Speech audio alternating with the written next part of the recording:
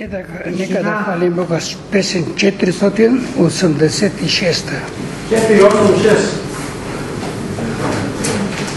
Нека радваме се, братим, да отхвърлим всеки страх. Нас Христос прие в обяте и закрие ни от грях. Братя, радвайте се в Бога за светите му дела и сърдечно без тревога възхвалявайте Христа. Песен 486. 486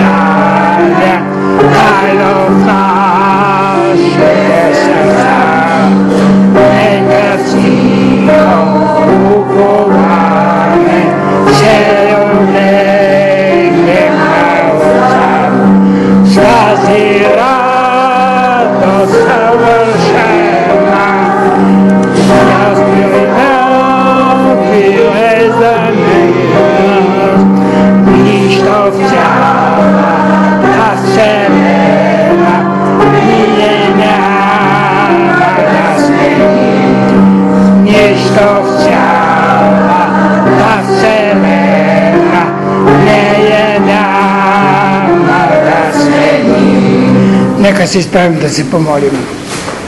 Отче святи и праведни, благодарим Ти, че ние сме дошли в Твоя дом и Ти се молим, Отче благи, да ни разкриваш Словото със Святия Дух, да разбираме това, което ни казаш и да ни изпълваш с Духът си, за да ни ръководиш да всичко това, което вършим, да бъде за прослава на Твоето име. Благодарим Ти за Господ Исус Христос, Твоя възлюбен Син, който Ти си изпратил да бъде наш Спасител, да понесе всички онези неща, които ни трябваше да носим, да умре за греховете ни, да възкръсне за нашето оправдание и той се възнесе в слава и царува до вечни векове. И сега ти се молим в Неговото име, Отче благи, да благослови всеки един от нас. Идваме със своите проблеми, идваме със своите болести, идваме със своите немощи, но не идваме пред Твоя благодатен престол, този престол на многообразната Твоя благодат.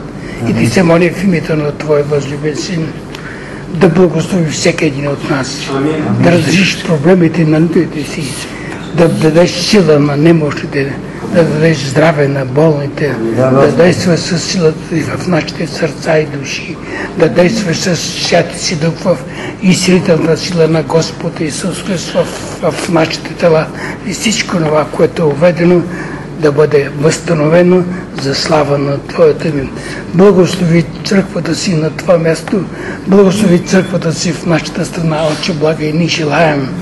Господ Исус Христос да бъде пророк на нашия народ и да го приеме с вяра, че Той е Спасителят, защото ни знаем, че само чрез Твоята благодат и чрез Твоята сила има успешен живот в този свят, защото ти така си казал в своето слово и че Твоето благословение върху светиите, тези, които са приели Твоят възлюбен син.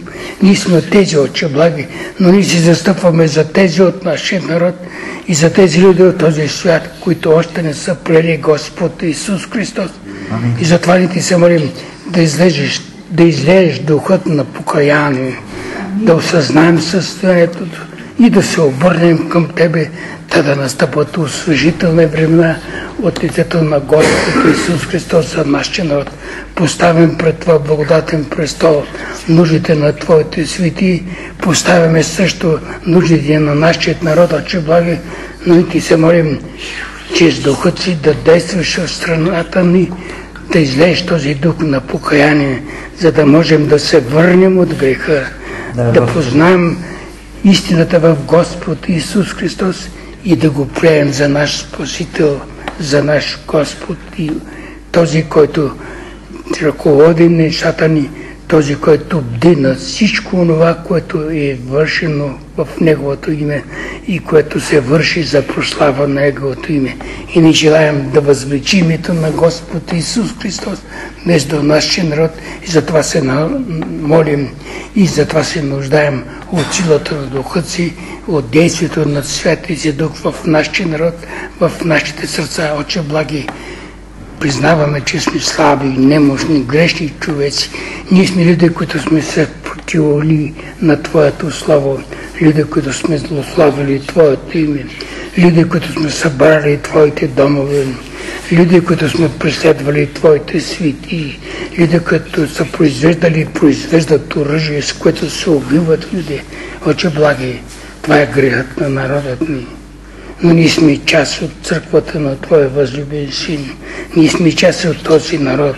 И ние се застъпваме за него. И затова ти се молим да покриеш греховете ни чрез кръвта на Твоят възлюбен син и да излезеш Твоето благоволение върху нашия народ, да наистина да се възрадваме от Твоята благодат, да се възрадват сърцата ни от Твоята радост, която настъпва чрез прощаването на нашите грехове и да да се познае силата на Твоята благодат и силата на Твоето възкръсение, Господи.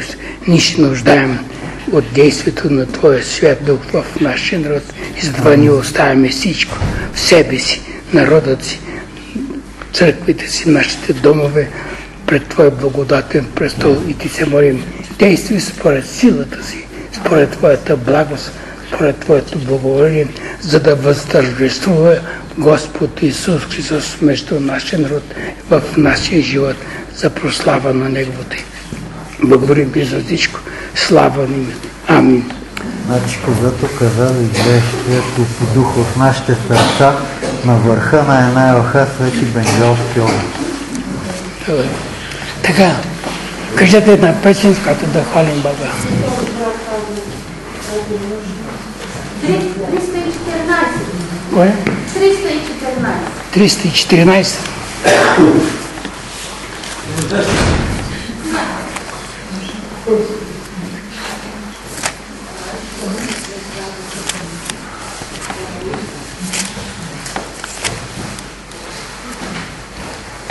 Подождите, я пришла.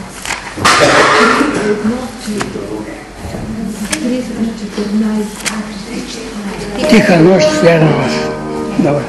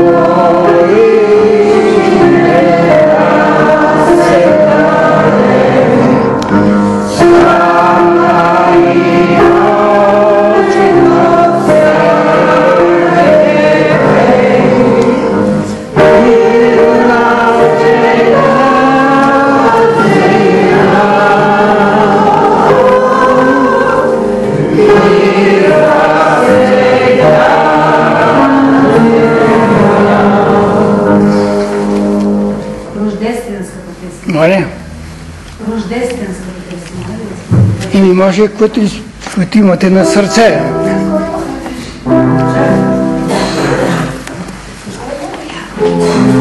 Amen.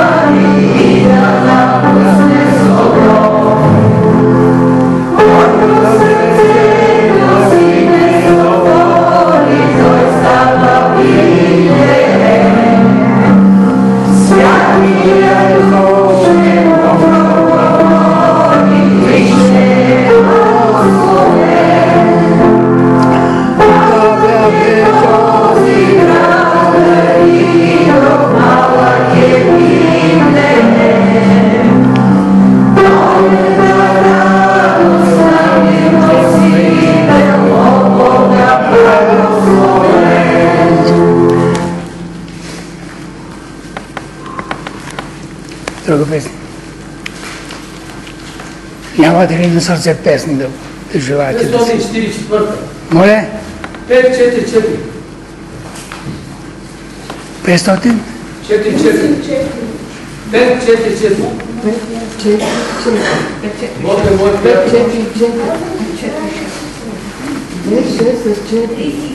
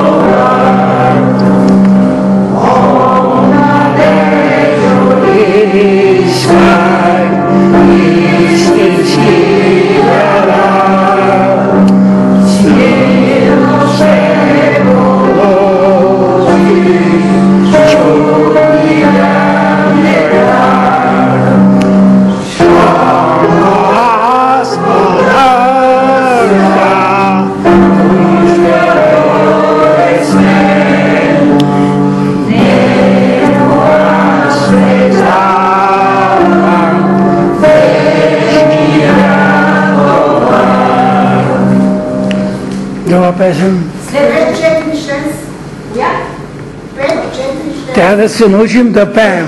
На небето само ще се пее. Ако не сте научили, имам един приятел. Ако не умеете да пеете, какво ще пеете на небето?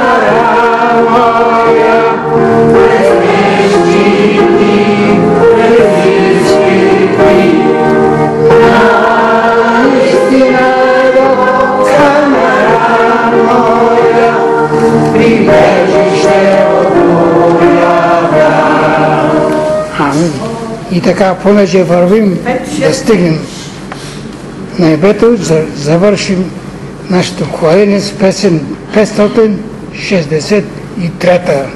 Запай тръгни са Илуя. Амин. 563.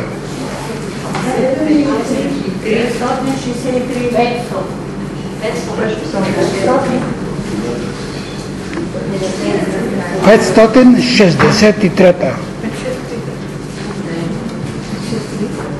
Thank you.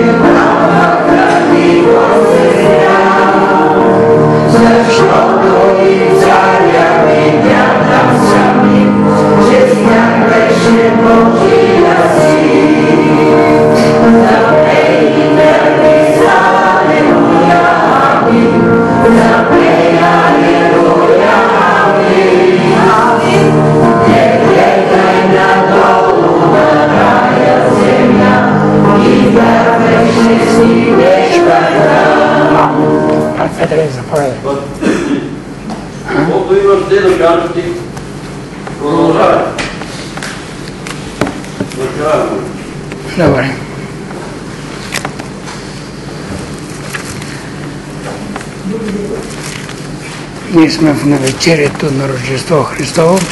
Ще прочита първите 14 стиха от Евангелието на Свети Йоанн, глава 1.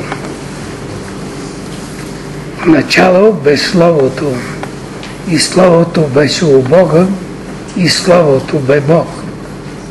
То в начало беше у Бога. Всичко чрез Него стана и без Него не е станало нищо от това, което е станало. В Него бе живота. И животът бе светлина на човеците. И светлината свети в тъмнината, а тъмнината е несхвана.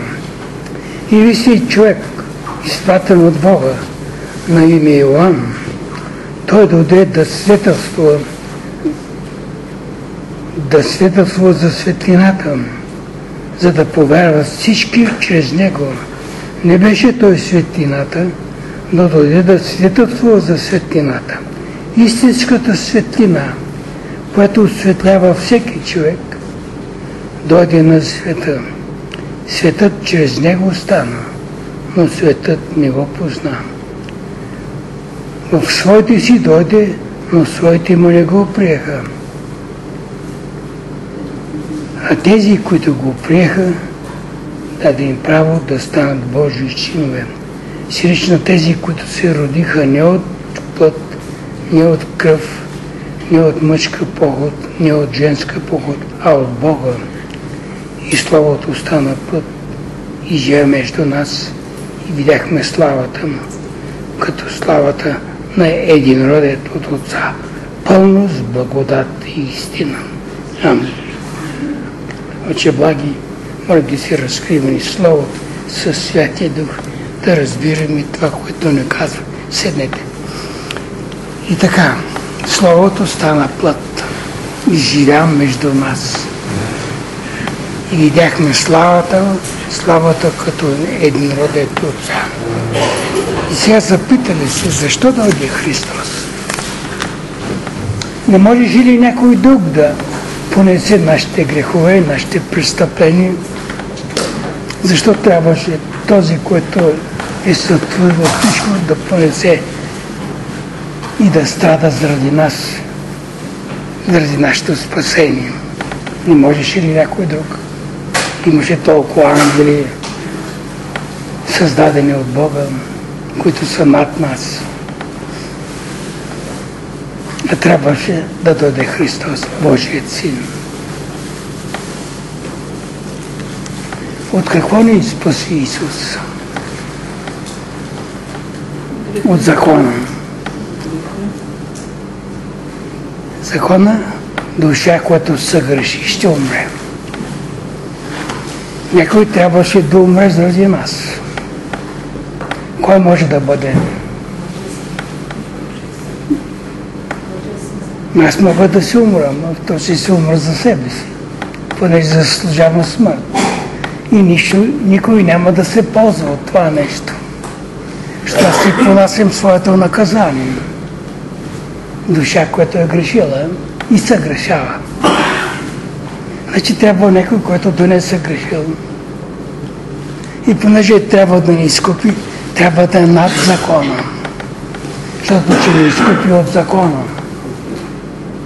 Ние сме повинни на Божия закон. Трябва да е над закона. Кой е над закона? Творецът, който го е създал. Който е създал закона, той е над закона. Затова апостол Яков пише, един е закона, закона, законодателят един е съдията. Този, който е законодател, той е съдия. А той ни осъжда на смърт, понеже сме съгрешили, понеже сме нарушили Неговият закон. Какъв е Божия закон? Запомнихте ли я? Божия закон е съвършен. Божия закон е свят. Божия закон е справедлив. Божия закон е добър. Божия закон е духовен. Но ние нищо не може да извършим от това. Ние всичко нарушаваме. Когато преди няколко седмици разглеждахме и някой казва, е, по-да говорим тези, които казват, че не са грешават, че не са грешици. И към нашето, нашето отговор че човекът съгрешава, понеже нарушава Божия закон.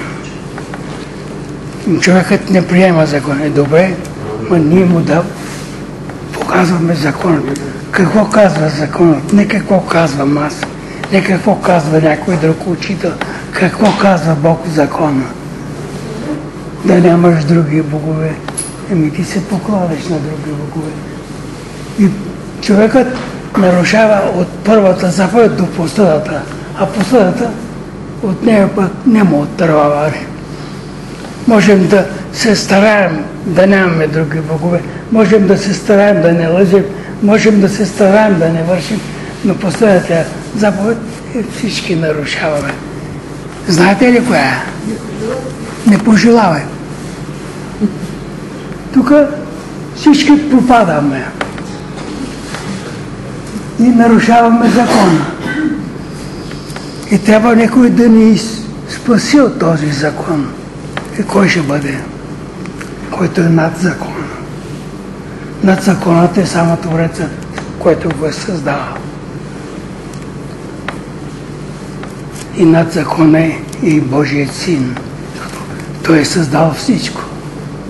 В начало бе Словото, Словото бе Бога. И какво казва? Всичко чрез Него става. И без Него не е станало нищо от това, което е станало. Значи Той е Творец. Той е над закона. И Той може да ни изкупи от закона. Защото е над закона. И закон е подчина на неговите изисквания, защото Той го е създал, но Той го изпълнява. Това е проблемът на нас. Че Святия Бог изпълнява законът си. И не може да позволи на никой човек да нарушава Неговия закон, защото Той го изпълнява. И как изпълнява закона? Ми Божият син стана като нас, като теб и мен. И понеже е като мен и като теб, и понася моето наказание, той става грешен като мен, грешен като теб. И това разглежда апостол Павел в посланието към коринтяните, второто послание, пета глава. Направи грешен този, който не е знал, грех. Христос стана грешен за мен и за теб, защото стана като мен. И той е повинен на законът. Защото е грешен, стана грешен като заради мен и заради теб. А законът казва, душа, която се греши, ще умре. И ето, Създателят, който е съвършен и който е стал законът, спазва законът. И иска от нас да го спазваме, ама ние не можем. И какво трябва да стане? Да станем духовни, за да изпълняваме законът. Защото законът е духовен. Как ще стане? Като понесе моят и твоят грях, за да ме освободи от повинността на закона, да се свободен от закона, за да мога да изпълнявам законът. Аз трябва да стана свободен от закона. Ама ще бъда свободен, ако бъда освободен от закона. И това нещо го извърша Господ Исус Христос. Той ме освобождава от закона. Защо? Защото понесе моето и твоето наказание. Той стана грешен като мен и понесе наказанието. Умря заради мен, умря заради теб. Изпълни закона. Изпълни закона за мен и ме освобождава от закона. Изискванията нямат основание върху мен. Аз съм свободен от изискванията на закона, защото законът е удовлетворен от Господ Исус Христос за мен и за теб. И сме свободни от закона. Само ако приемем с вяра, че това, което Христос извърши на Голготският кръст, е за мен, не за някой друг. Той е извършено за мен. И аз вярвам, че Христос е умрял на Голготският кръст за моите грехове. И сега ние тържествуваме, празнуваме Неговото идване в този свят. Защо? Радваме се. Защо се радват хората? И да ги питаш и те не знаят за какво. Но това е моментът, когато целият свят се радва. Всичко се радва. Защо? То не идва от моите желания, нито от твоите желания. Бог действа в този свят. И Неговото действие е непижано. Никой не може да го успее. Защо се радва го? И той не знае, но се радва. Защо? Защото целият свят пее. Пее, че Христос е извършил нещо, което освобождава и самият свят от товарът на греха. Това е, което е извършено. И това стана чрез Господ Исус Христос. Той дойде в този свят. И каквото и да вършим ние, това не зависи от нашето действие. Дали ще се радваме или няма да се радваме, светът ще се радва. Защо? Бог действа в този свят. И Той възбужда в нашите сърца тази благодарност, че ние бяхме грешници, а Христос ни освободи и дойде точно за това, за да понесе грехът ми, за да понесе Твоят грех, за да бъдем свободни. Защото Бог ни е създал да сме свободни. Негов синове и дъщери, да славим Неговото име. И Той очаква това от своите люди, които изкупил чрез кръвта си. И затова апостол Павел пише на Филипяни, радвайте се. Пак ще кажа, радвайте се в Господ. Защо? Бог извърши чудни дела. Извърши онова дело, което освободи светът от грехът. Не само мен и теб. Целият свят е освободен от греха. Цялото творение е освободено от тая проклетие. Всичко е освободено от проклетието на греха чрез Господ Исус Христос. Това е завършикът на Неговото дело, което започва чрез Неговото раждане. Има един голям драматург, известен в целия свят, това е Шекспир. Казва, че ние сме, всички сме като артисти, които живеят в този свят. Но всяка една драма има завръзка. Има развръзка. Развръзката е така, но завръзката е в началото. Завръзката стана в Едемската градина. Човекът се греши. И оттам започва трагедията на човечеството. Трагедията в свят. А развръзката стана на Голготският кръст. Но започването за развитието на тази трагедия започва от раждането на Господ Исус Христос. Щом има раждане на Исус, има възкресение. Ако няма раждане, няма да има възкресение, защото няма Спасител. Той се ражда. Именно това е великата радост, която нахлува в този свят. Какво свидетелства ангелът на овчарите? Донася ми голяма радост. И какво? За всички човеци. Не за отдел. За всички човеци. Голяма радост за всички човеци. Какво? Роди се в Давида град. Спасител. И неговото име е Исус Христос. Спасител Исус Христос. Това са имената му. Дадени още при. Ради голяма радост за всички човеци. Роди ви се Спасител, който е Христос Господ. И това, което всяка година ние си спомниме за това велико дело, което Бог извършва, стана като нас, за да ни освободи от грехът. Това е Рождество Христово. Стана като Словото стана плът и живя между нас. И им видяхме славата. Слава като на единороден от Отца. Пълно с благодат и истина. Това е резултатът от Рождеството на Господ Исус. Неговата благодат започва да действа в този свят. И нищо не може да спре тази благодат. Никакви препятствия не могат да възпрат действието на Божията благодат. Бог действа. Как става? Не знам. Но Той действа. Резултатът е на лице. Людите се спасяват. Един голям грешник, а Бог действа в него. И той почва да плаче. Защо? И той не знае.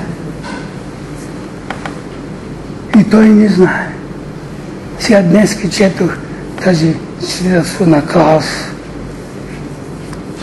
Това е един роман, който е преведен на български.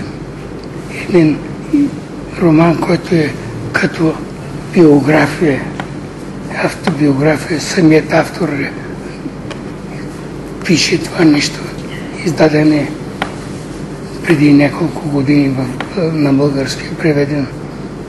Казва, точно това разглежда той, че толкова години е търсил Божията спасение, търсил освобождение от греха и не е плакал, имал изпълнен с омраза.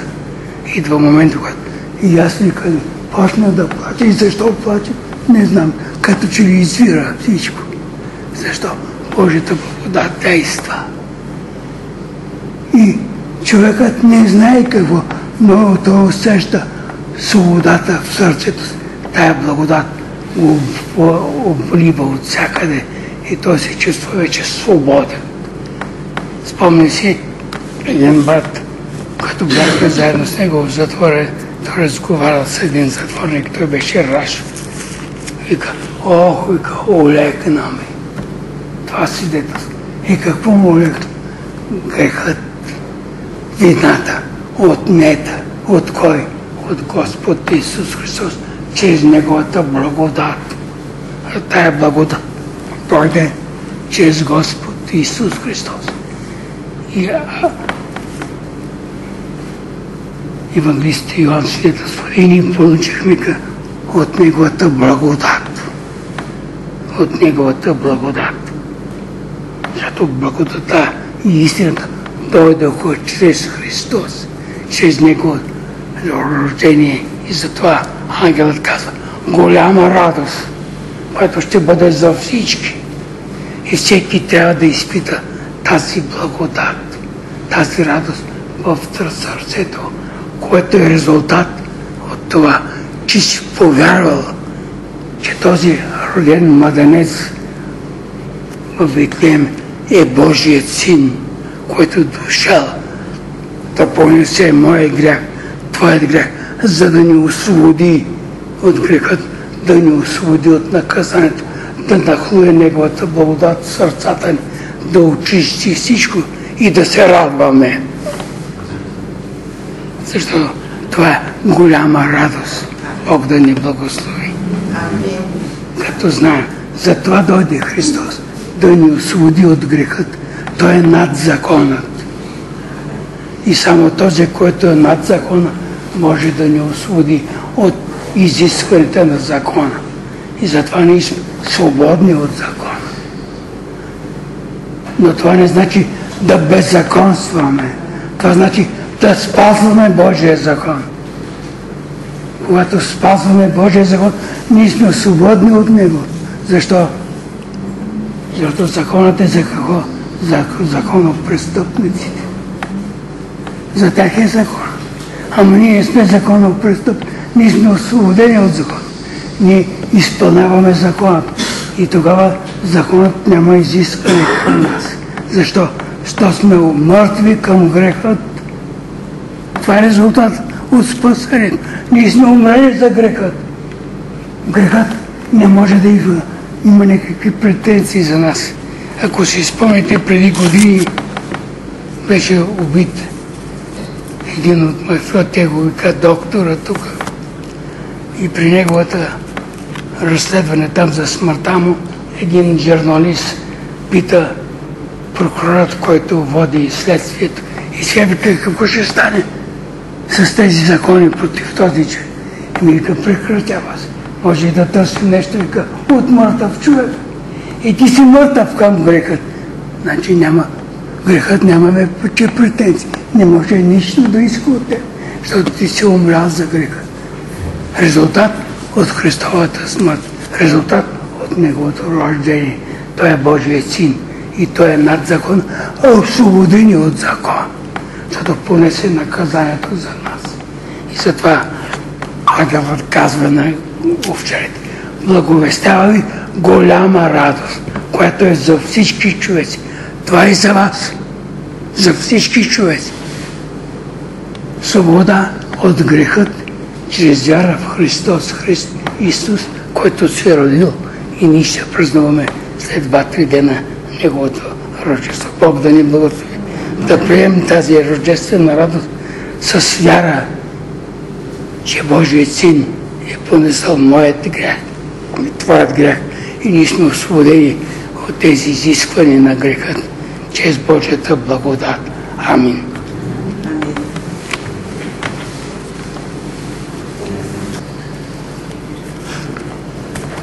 Втора глава от Евангелието от Лука.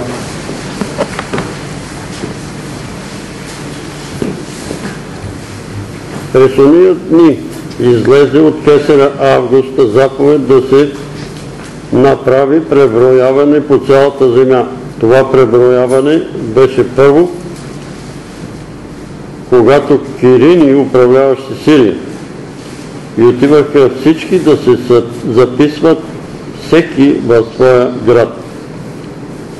Тръгна Йосиф от Галилея, от град Назарет за Юдея, за град Давидов, наречен Витлеем, понеже беше от дома на рода Давидов, за да се запише с Мария, сгодената за него жена, която беше непразна.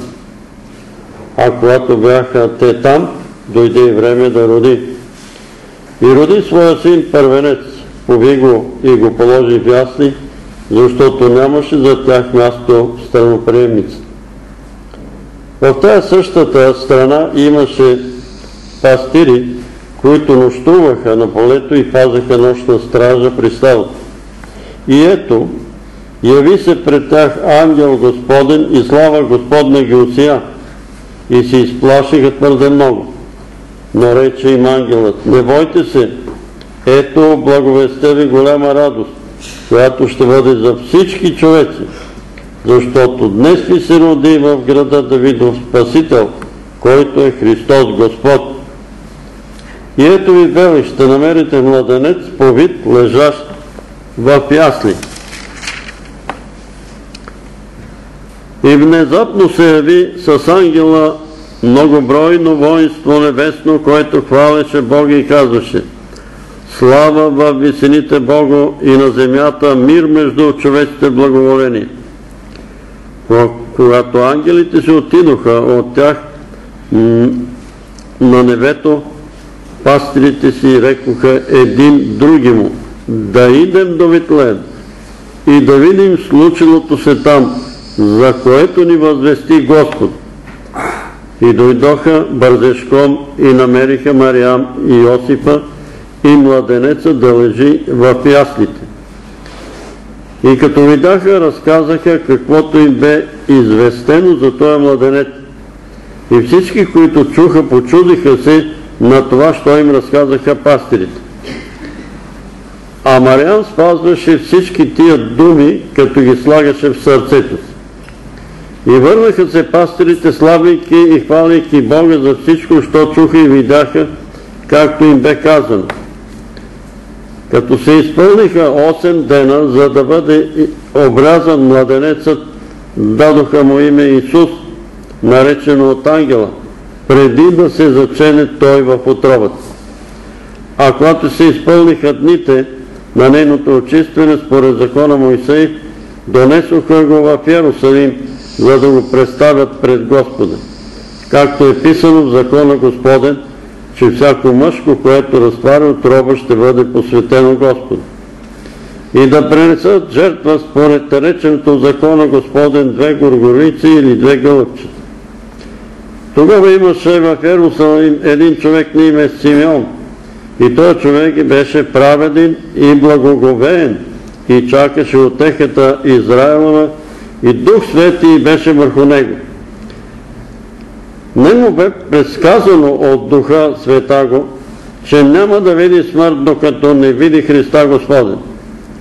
И дойде по вдъхновение в храма и когато родителите донесоха младенеца Иисуса, за да извършат на него обичая по закона, той го прегърна, благослови Бога и рече, сега отпуска своя раб владико според думата си с миром защото очите ми видяха Твоето спасение, що си приготвил пред лицето на всички народи, светлина за просвета на езичниците и слава на Твоя народ Израиля.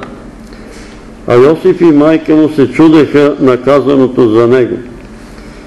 И благослови ги Симеон и рече на Мария, майка му, ето, той лежи западане и ставане на мнозина в Израиля, и за предмет на противоречие, а на сама тебе меч ще прониже душата ти, за да се открият мислите на много сърца.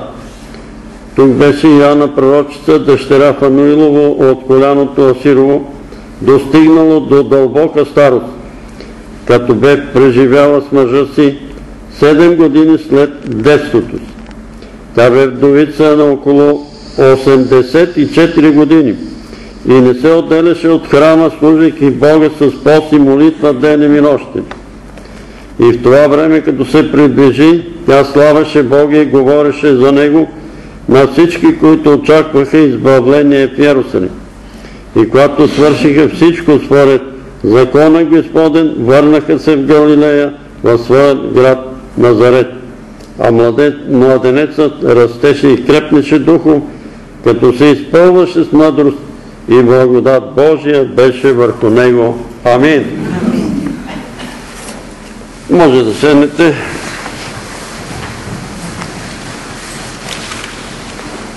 Надявам се, че тази глава ви е известна на всички. И аз ще кажа, както брат Димитър, радвайте се.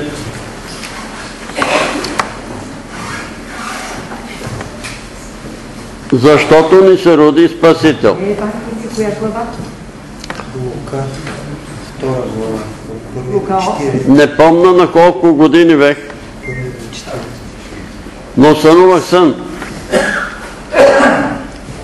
Иди при баба ти и вземи двете свещени книги, защото кръци ще ги откранат. И аз отидох, впрочем, в съня отидах при баба ми, тя ми даде Библията, отворих я и прочетох.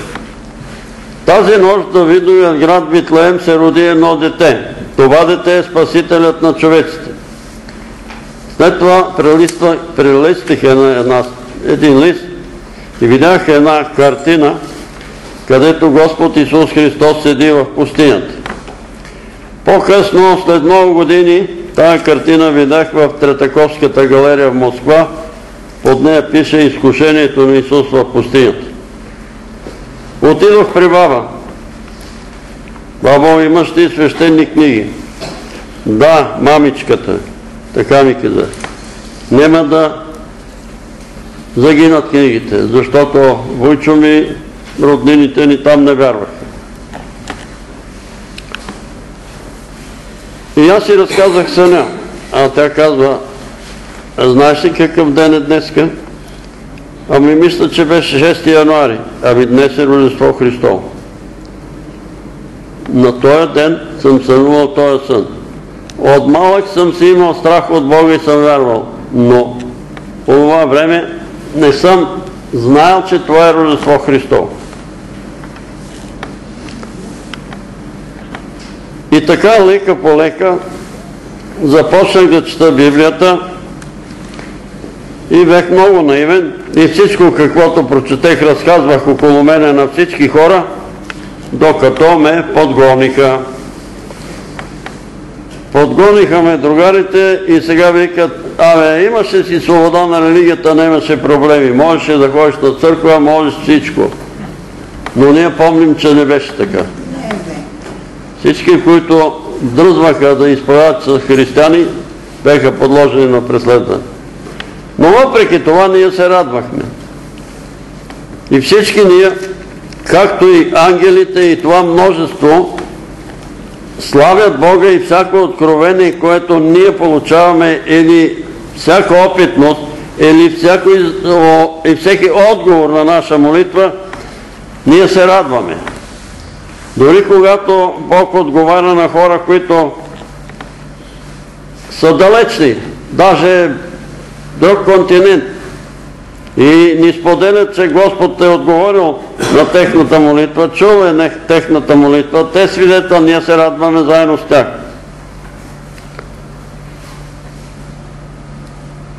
Две сестри се обадиха от Разград, попаднал им мирния договор на грешника с небето. Тия хора изобщо не, не са имали никакво знание за Бога. Почват да четат мирния договор, повярвали се и даже се образувала домашна група от вярващи там, от тая малка книжка, мирния договор на грешника с небето. Заинтересували се кой е той Исус Христос, какъв е той Исус Христос, за който трябва да се молим да ни прости греховете. Също така, един брат, тук дойдоха десетина души от Хасково, но не им обърнахме внимание, те бяха седнали там некъде, трябваше да им дадем думите, да кажат няколко думи. Не им обърнахме внимание и накрая един от тях дойде при мен и казва аз повярвах от мирния договор. Една малка книжка Мирен договор ми я подариха. Казвам ви това, затова не подценявайте този мирен договор. Раздавайте колкото имате. Тук донасяме по 200, по 100. Раздавайте на хората. Раздайте им по един мирен договор. След това дадете им едно евангелче. Може евангел от Йоанна. Може Нов Завет. Сега на Рождество и Нова година се дават подаръци. Некой път тия подаръци изобщо няма да ги употребите.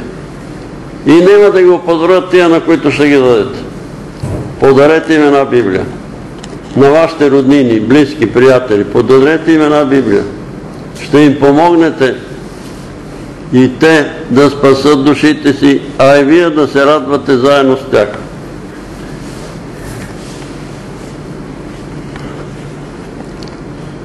Един ден говорех на една жена в завод 6 септември.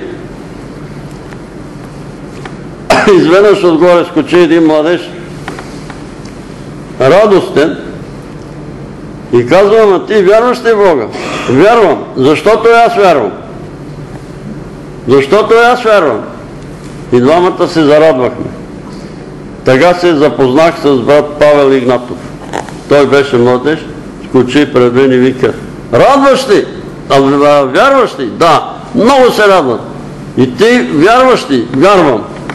И когато се срещаме с такива хора, които вярват, Господ ни изпълва с радост. Бех в Скопие, отивам да спа на хотел. И гледам там един българин, нещо, разбра го, че е българин, нощи си ядене, кашкавал, други работи. Абе, викам, откъде си? От София. Така ли? От София ли си? Викам, аз съм от София. Ами аз викам, съм вярващи, сме дошли тук да посетим Струмица, вярващи хора в Скопие. Ама и аз съм вярващ, бе. Но откъде си? От София. Коя църква? От 50-та. Немаше ли друга некоя соба на сръбски, на македонски стая е соба, ами точно при него да ме заведе Господ. Такива случаи в моя живот има много, където Господ ме радва само защото съм се срещнал с вярващ човек. И разбирам, че този човек ми е роднина, защото така казва апостол Павел – да се имаме като сродници, а не като врагове, защото не сме от тая или оная деноминация. Не приемаме тая доктрина или оная човешка доктрина. И всеки да изпита себе си, радваш ли се, когато срещнеш християни? Радваш ли се, когато ти кажат честито Рождество Христово или се сърдиш? Защото на едно Рождество Христово един български президент дойде точно срещу мен, явно се е препознал и казва Честита коледа! Аз му казвам Честито Рождество Христово, господин президент! Радостта му се изпари. Погледна ме враждебно и си замина. Честито Рождество Христово! Ние не се чудиме, че врага е успял да завърти нещата и хората да вярват на дядо Мраз, на дядо Коледа и така нататък. Но това е работа на духа на лъже пророка. Да отклони вниманието на хората и да ги прати при Антихриста и те да си празнуват дядо Мраз, да си празнуват други празници. Но както чухме от брат Димитър, въпреки всичко, по тия празници хората се радват. Защото Господ казва да се радва. И апостола казва радвайте се. Непрестанно се радвайте. Ама как да се радваме, когато ни ограбват. Ами радвайте се. Какво пише за първите християни? С радост се оставиха да им разграбят имота. С радост се оставиха да им разграбят имота. Ние даваме ли си сметка? Такива християни. Е, аз изживях една такава радост. Бехме на Рилския манастир, на екскурзия, нали, една група брата и сестри, връщам се дома, вратата разбита, огравен, сядам в хола на един стол и почвам да се радвам. И казвам, Господи, какво става? Откъде тая радост? Радвай се. Радвам се. А да огледаме себе си дали се радваме или негодуваме за най-малки работи. А тук ангела казва радвайте се. А ангелите пеят радвайте се. Трябва да се радваме. Ама студено ни е, пак ще се радваме. Един ден търсехме един адрес в Долни Богров. И аз обикарах, нали, карах един зил, работилница с моя шеф. И от адрес на адрес и влизаме там в една къща. Беше студено студ. И там една самотна женица наклала печката, пее и се радва. Като влезнах, тя се притесна, викам, търсим еди кой, не го знам кой е. Жената пее и се радва, че е празник. Точно тогава бехме и на Рождество Христово обикаляхме, наклала си печката, пее на Бога и се радва.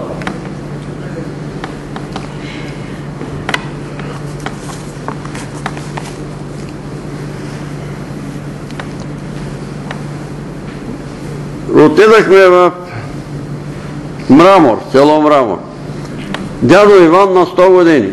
Дядо Иване, сигурно си бил овчар. А, ми овчар. Хамалин съм работил, каруцар, ковач, какъв ли не. Ама винаги сигурно си бил на чист въздух.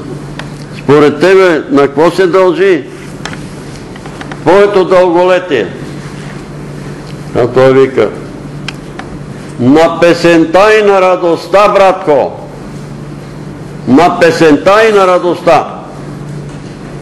Сутрин ставам, измия си очите, излизам в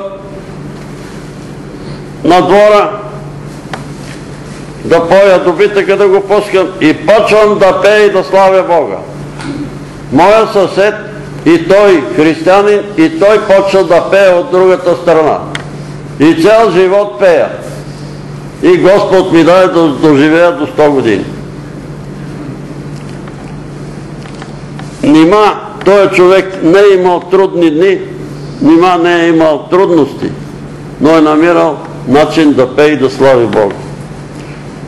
И затова е добре, тук една сестра дойде и казва, брат Петре, много ви е слабо хвалението и много малко пеете трябва да пеете повече и да хвалите Бога. И аз съм съгласен с нея. Вие съгласни ли сте? Да. Да. Поне един час да пеем и да славиме Бога. Защото чувствам, че някои хора са зажадняли за песни. А и те сами си казват. И така, какво направиха овчарите?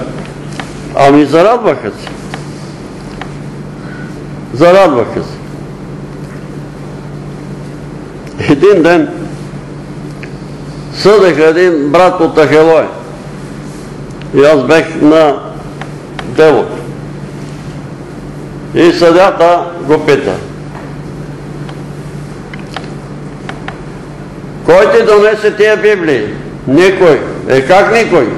Една сутрин излизам, върва по пътеката да отворя вратника и до вратата една голяма раница пълна с Библия. И съдята го пита. Е ти какво направи? Е как какво? Зарадвах се! Зарадвах се! Една пълна раница с Библии. И после, и после раздадох ги на комшиите. Ма ти нямаш право. Откъде на къде да нямам право? Това са книги, раздавам ги на хората да четат. Осъдиха го на 4 години и половина. За това, че е раздал една, раздал една. Ама той човека се радва. И сигурно и затвора и там се радва. И там се радва. Какво вика направи? Ми зарадвах се, вика. Така че и ние при всички случаи в нашия живот трябва да не се мръщиме, да не се караме и повече да се радваме. Да имаме мир и спокойствие. Искам да ви припомня за един мой братовчет, не моя, на баща ми първи братовчет, Димитър Велев. Аз го сънувах, че е застанал пред съдята. Съдята слиза от трона, отива при него, подава му ръка и му казва Николе, радвай се, ти спечели вечен живот. Имаме ли право да се радваме? Да чуеме този глас на Твореца на Господарът. Радвай се, Димчо, ти спечели вечен живот. Здравке, радвай се, ти спечели вечен живот. Ти спечели вечен живот. И тогава отидах на село и попитах там хората, абе, Никола Велев жив ли? А, вчера го погребахме. Преминал си. Но той беше най-кроткият човек в селото. Когато говореше, думите му беха благи, меки. Аз за него не съм чул да се развикал, да се е скарал с некой. Даже беха кръстили на сина му Благия. Заради баща му, сина му не беше толкова благ, ама на него викаха Благия. И така има обещания. Блаженни кротките, защото те ще наследят земята. Ние християните трябва да бъдем от кротките. Трудно ни е, зависи от характера.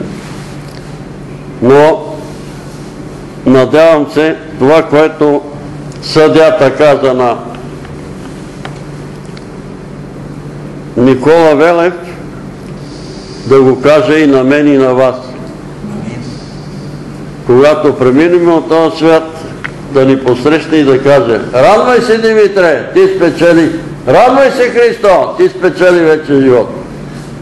Радвай се, защото Розалия, защото твоя кръс е много тежък, но ти ще спечелиш вече живот, ако устоиш до край.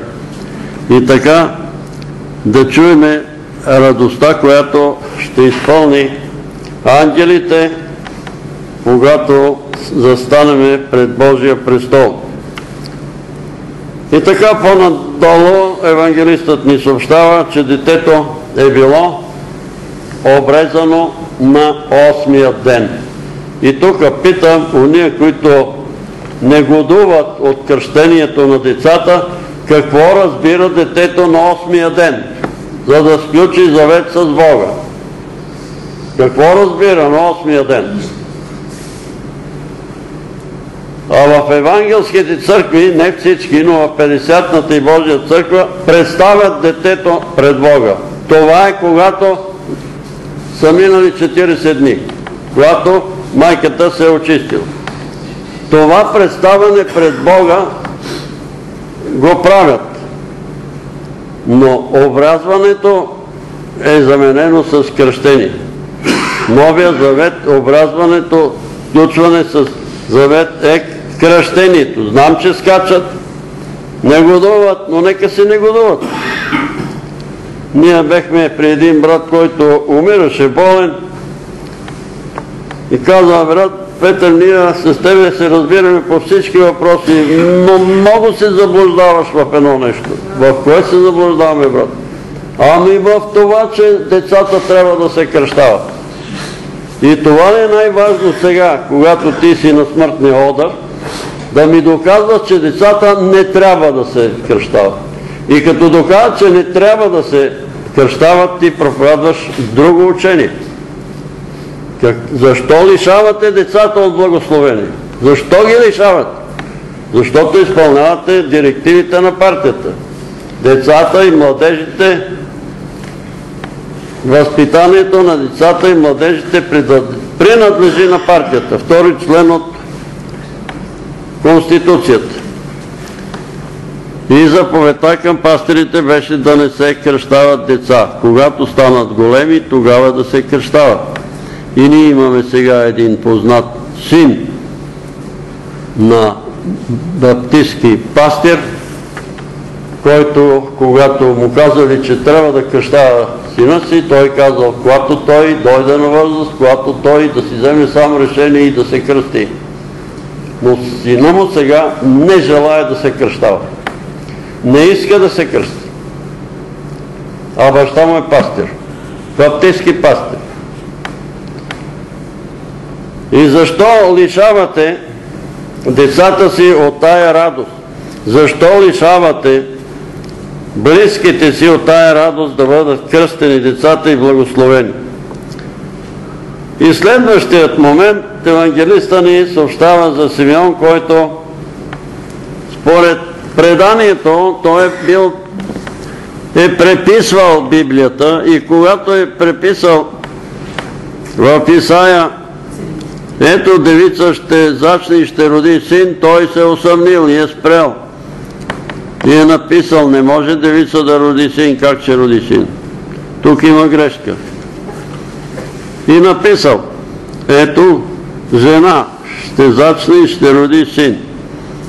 Но тогава му се явява ангелът и му казва, напиши девица, защото ти нема да умреш, докато не видиш тоя, който е роден от девицата. И ето тук ние четем, че той е имал откровение и в дълбока старост сега отпускаш раба си с миро, защото видях спасението на Израел. Обърнете внимание на това, което той каза за Исус. И днес то е в сила и се изпълнява това пророчество. Това, което той каза,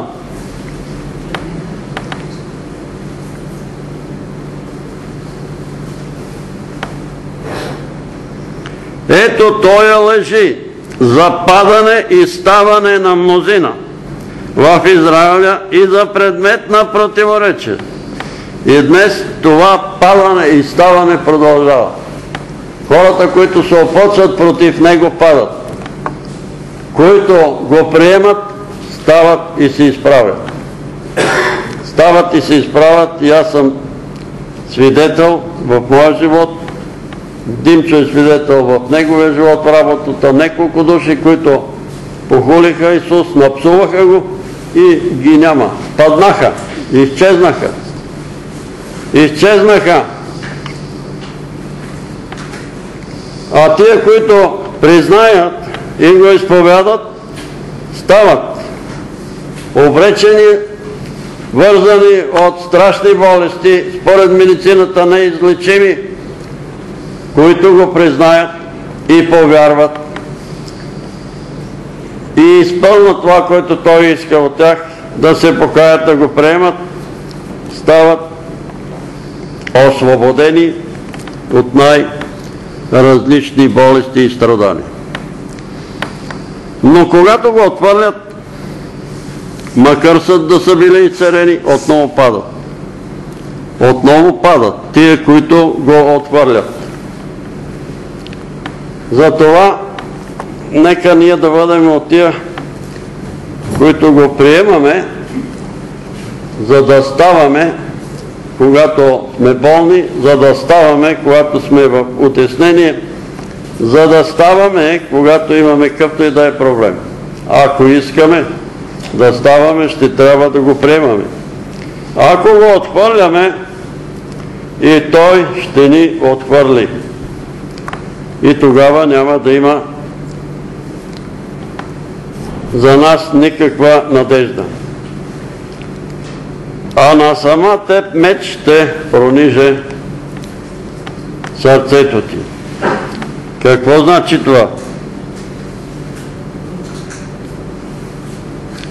Меч ще прониже душата ти. И за да се открият мислите на много сърца,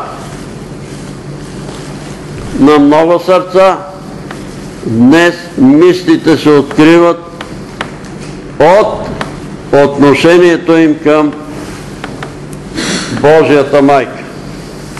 Мислите на много сърца днеска се откриват от отношенията към майката на Господ Исус Христос. ето ние сме за брат Димитър. Отидахме при един брат, една сестра дойде с нас и тя му казва, проповядвал си да не се почита майката на Господ Исус Христос. И той реагира и каза, да, така е, проповядвал съм. Но тя не е спасителка. И брат Димитър му отговори, така е, брате, но е роди, родила Спасителя. Разбирате ли какво става в този момент?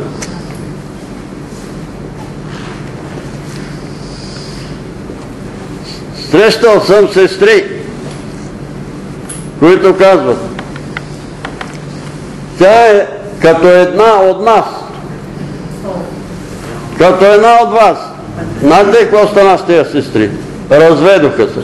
А майката на Исус развеждала ли се? Като нея ли са? Ми не са като нея. Бог допусна да ги изгонят мъжете им, защото те са с претенции, че са като нея. Ето ще се открият много сърца. Помислите на много сърца ще се открият. Именно чрез нея. А на нея ме ще пронижи душата и знаете защо? Защото тя вида сина си разпънат на Голгота на кръста. Имаше една Ана пророчица, Пануиловата дъщеря от Асировото коляно, която беше доживяла до дълбока старост. 84 години и аз сега съм на 84-та година. Значи съм в дълбока старост. Брат Димитър е малко по по-възрастен от мене. 90 вече отгоре. И тая жена също пророкуваше за нашия Господ и за всичко това, което щеше да стане в Израел и което ще бъде за слава и за радост и за спасение на езичниците, от които сме и ние.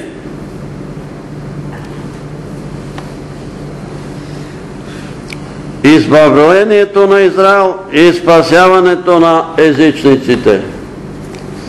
Разбира се, Израел не пожела да го приеме, но уния, които го приеха, те не са малко. Първите християни са евреи, защото има хора, които не знаят, невежество. Една сестра, която работеше в градската, в тая до университета, библиотеката, държавна ли, градска ли, не знам. Народна. Народната библиотека. Библиотекарка. Прочела много книги. Много културна. Защото е прочела много книги. И като говорихме с нея в градинката там, пред Александър Невски, в Петре, аз мразя евреите. Така ли? Ти християнка ли си? Ма как можеш да ми задаш този въпрос? Нали знаеш, съм християнка? Редовно хода на църква. Редовно чета Библията. И какво четеш, бе? Какво си прочела, бе, сестро? Аз съм прочела много книги.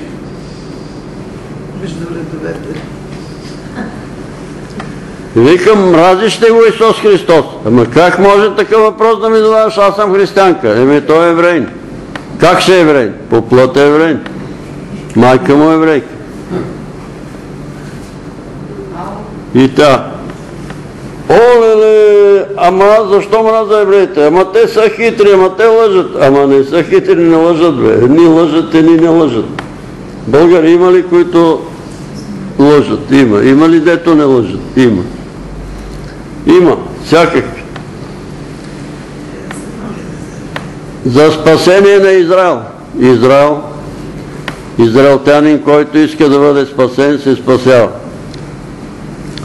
Така че не може да се проповядват такива лъжи, които чувам в едни книги чета и чувам по някакви проповеди,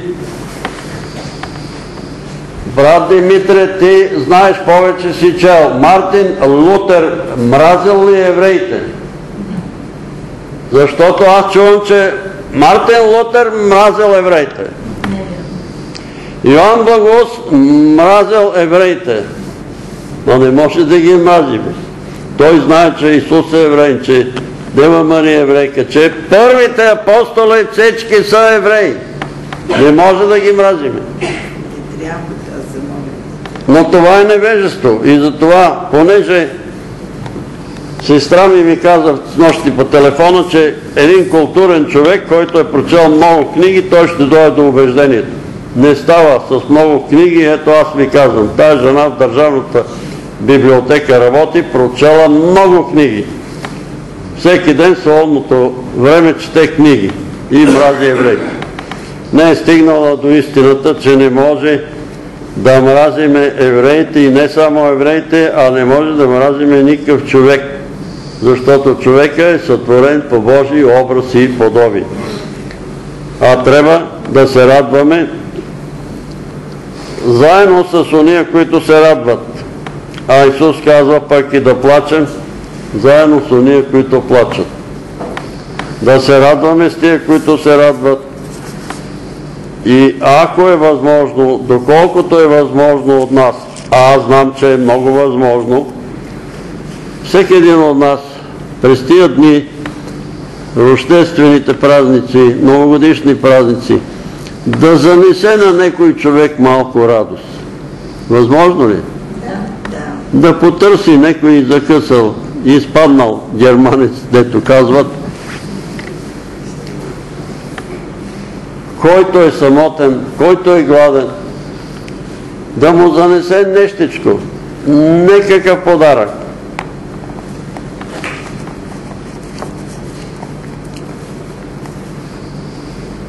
Едно време търсехме такива картички с Рождество Христово, с Възкресение Христово. Нямаше такива.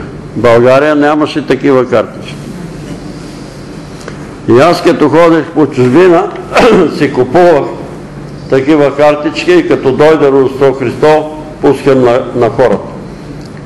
И те ми се обаждаха, че са много радостни, че са получили една такава картичка с Рождество Христово.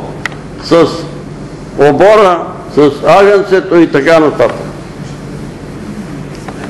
Сега предполагам, че има такива картички. Изпратете на хората, които ги обичате, а и на тия, дето не ги обичате, да се очудат. Поздравете ги с Рождество Христово. Пратете им по един СМС. Поздравете ги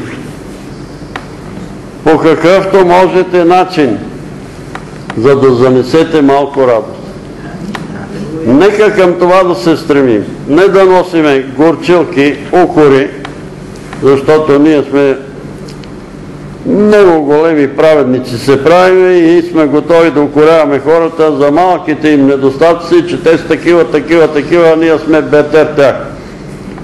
Бързаме да ги укоряваме. И нараняваме хората, защото не са точно като нас. А Господ искам да не бъдат като нас, а да бъдат различни от нас. И така евангелиста ни съобщава по-натам, че младенецът растеше и се изпълваше с мъдрост и Божията благодат беше върху него. Дай Боже Божията благодат да бъде върху всички Негови, всички, които изповядат Неговото име, които се наричат християни, Божията благодат да бъде върху всички нас. Ще се молим аз да не забравя. Обадиха за три сестри. Едната от Кюстендил, другата от Пловдив и третата от София с един и същи проблем – вратите им са намазани с, нещо, което е мазно, лепкаво, като лепило и те не могат да си очистят вратите.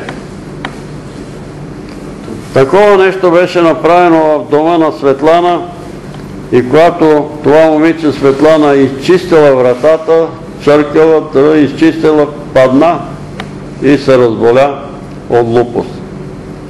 По всяка вероятност в тая маршрутия имало е и изотопи, за да бъде облъчена и тя да падне в това състояние. Тия сестри изплакаха по телефона, а на едната дори са намерили под вратата мъртъв умрял плъх, мушнали се отдолу умрял плъх. И как вика сега да се радваме? Как да се радваме? Радвайте се. Защо? Защото тия нечестивци непременно ще бъдат наказани. Непременно ще бъдат пометени. Щом се занимава с тия мерки. Горко им. Но ние пък трябва да се молиме за тях. Нали, аз ви казах, че се активират магиосниците в България. Дошли са специални магиосници от Индия да ги учат какво да правят, да воят срещу християните. И затова ние се молиме, Господи, прати ангелите си, прати небесното воинство срещу магиосниците в България, ние няма да се занимаваме с тях. Ти се справяй с тях. Но се молете за тия три семейства, Господ да ги защити, да ги опази, Кюстедин, Кюстендил, Пловдив и София. Сигурно не са само те. Господ да ги смъмре, защото слугите на сатаната не могат да се радват, когато християните се радват. Не могат. Бесовете вълнеят. Защо? Защото се е родил Спасител, защото християните се радват, те не могат да се радват. Те не могат. На едно възкресение Христово бех на Света неделя и там един майор дойде и почна да духа свещите на бабите. Духа им свещите, обикара и аз отидах при него и другаро майор, какво? Не се гаси това, що не гаси. Гаси се!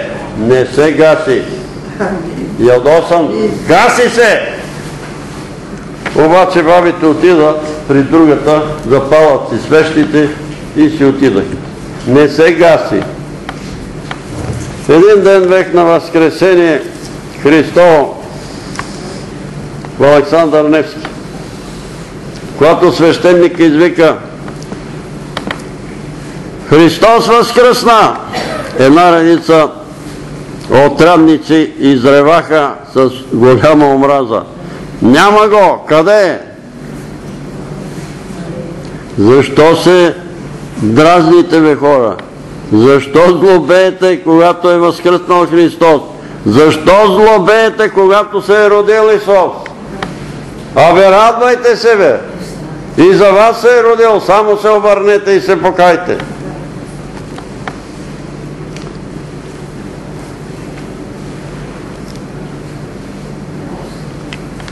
Попитах един такъв атеист, абе, защо мразиш Исус Христос? Ами защото вика от 6 годишен започнаха да ме възпитават, че Той е виновен за всичкото зло на тази земя. Исус Христос е виновен, представете си. Представете си. И ние сме свикнали да обвинаваме тоя, оня, тая партия, оная партия, а истината каква е? Кой е виновен? Греха. Нашия грех е виновен. Греха е виновен. Не са ли виновни хора?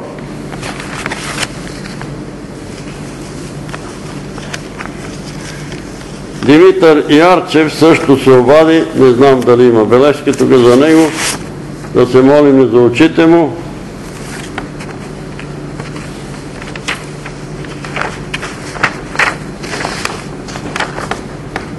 Бог да ви благослови, благодаря му за Диан, че не е вече в тежко състояние, в което беше и че се пренесе да живее на по-добро място в Хисаря.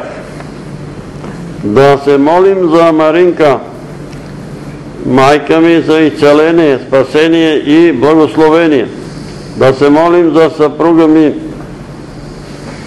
и мат, за покаяние и спасение. Благословен да е Бог и Неговия Син Исуса Месията. Амин. Но да не забравя Диан, че трябва да се кръсти. Къде беше майка му? Напомняй му, че трябва да се кръсти. Защото ония, които не са кръстени, са отстранени от Бог. Бог показва милост към него, радваме се, че е добре, че ще отиде и в по-добра атмосфера там между християни, но да не забравя да се иска да се кръсти и да не отлага. Много поздрави, ние ще се молиме за него, поздрави го. Продължаваме да се молиме за Диан. Братя и сестри, да се молим за моя дом, за покаяние, за семейството на брат ми Георги, за моята майка Мария и за мен да ме срещне с правилната, подходящата жена според благата Господна воля, брат Александър. Амин. Да се молиме за брат Дахил, за бъбреците и за неговата, неговия баща, за проблеми с простата. Господ да спаси целият дом на Дахил. Знаете сигурно неговата история. Той повярва Господ Исус Христос. Веднага ходжата вика баща му и братята му да го съдат в джамията и почват да го нападат. Ходжата му казва, Дахиле, ти си отстъпил от правата вяра и си приел и си повярвал в християнския Бог. А Захил казал, Ходжа, колко богове има ви? Ами един. Ама ти верваш в два. Е как в два? Ми ти верваш в един турски бог и един български бог. Започна да се смеят синовете му. И един след друг такива въпроси Дахил го засича и Ходжата се оплял. Накрая Дахил го попитал, Ходжа, нощно време вие се събирате тука да се молите или да играете барабут, а той е знал какво правят. И баща му казал, така ли? За това ли се събират тук? Да играят барабут, да се занимават с... Отивай, да хила не се притеснявай, върви си в християнската вяра. И ето сега ние се молим и за баща му, а и братята му да повярват, да се обърнат, защото нема еврей, нема турче, нема българи. Няма. Пред Бога всички са човеци за спасени. Брата и сестри да се помолим за сестра Теодора и брат и Павел. Бог да ги цари, сестра в Бога. Имате ли някаква информация? Къде са? Какво правят? Не знаете. Вчера Николай в работата загуби говора и с главоболи не свърза на реч. Мислил да каже Исусе, но не излизало от устата му, а само в ума му и се замъгляване на очите. И след един час се маха, но остава главоболието и притеснението в къщи, заспа малко и взе един аспирин. Да се помолим да остави цигарите. Ма няма да се молим, трябва да ги остави. Той ги остави.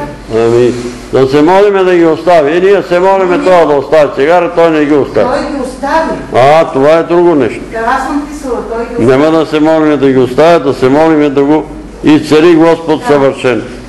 А това е едно предупреждение, че или трябва да става човек, или виж какво става. За очите и зъбите на Димитър Ярчев. Той ми се обади по телефона. Брати и сестри, моля ви, подкрепете ме в молитва за дъщеря ми Яна.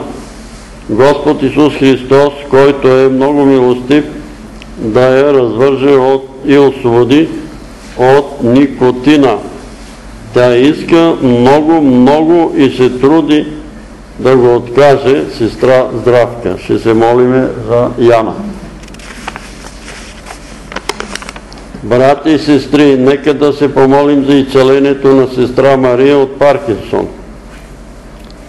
И да си слава в Германия за изцеление причините за анемията и за подходяща работа на правилното време. Амин.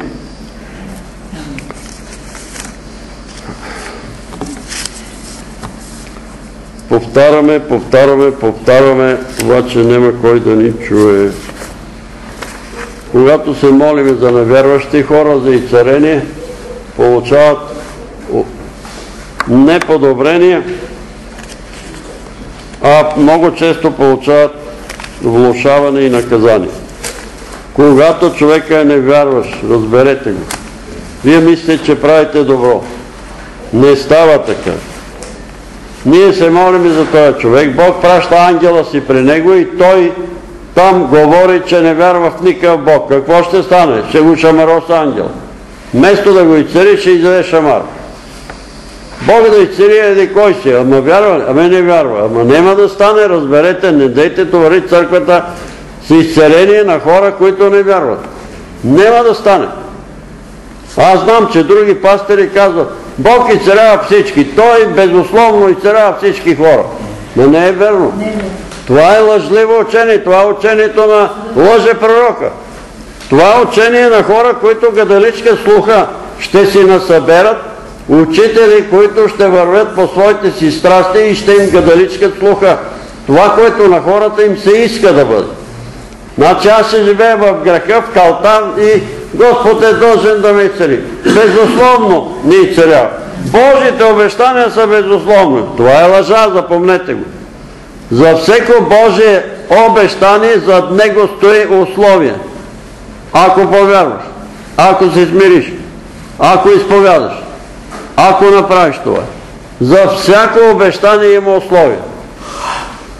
А проповеди 33 хиляди обещания, безусловно има в Библията, приемете ги. И ние сме свидетели на такива, които са закъсали сега. Това е материалният просперитет и нито имат пари за храна, нито за ток, нито за вода. Закъсали са, защото си пръснали парите и са чакали да им се върне стократно, ама не се връща. Не се връща, нема такова условие. Господ дава, нали, казва, давайте ще ви се даде, ама не с такова условие. Господи, аз ще дам за Божието дело 100 лева, а на ти ми върни 100 хиляди. И ми няма да ти върне. Пазарлъци с Бога няма. Зависи за какво ги дават също. А, дават ги, за да се върнат обратно. Ама за какво, за какво? Няма значение. За какво ги дават? Те трябва да знаят за какво ги Абе, дават ги за мисионерска дейност. А, Така. И мисионерите отиват в Израел. И там правят същите схеми, давайте, за да ви се даде. Като дадете 1000 евро, ще ви се върнат 10 000. Ама евреите ги арестували и ги вкарали в затвора. Защото тия схеми те отдавна са ги измислили. И нашите българи отиват там да им, да им продават да им продават на тех номера. Не става. Обаче обраха много народ. Горко им. Станаха милионери. Горко им, защото ние виждаме тия техни пасоми закъсали до гуша. До гуша. Закъсали. Давали, давали, давали, за да им се върне, нищо не се връща. И виждаме какво става. Горко им. Горко им на тия проспериращи Какво беше? Торонто Блесинг. Брат Димитър, това е Ярчев, дето сега се молим за очите, очите му, ми носи една касета. Брат Петър, да видиш Торонто Блесинг. И гледам аз Торонто Блесинг, един салон, два пъти по-голем от този салон, И се разхожда там пастира и казва, нали, даваш 100, получаваш 100 хиляди. И така нататък. Обаче в салона имаше 5-6 души, така една групича. Брат Димитре, какво е това помазание? Бе? Пет души има при него. Вика, ей, верно бе, как не съм видял. Пет души има, там го слушат. Как не съм го видял? Е, той е същия брат Димитър.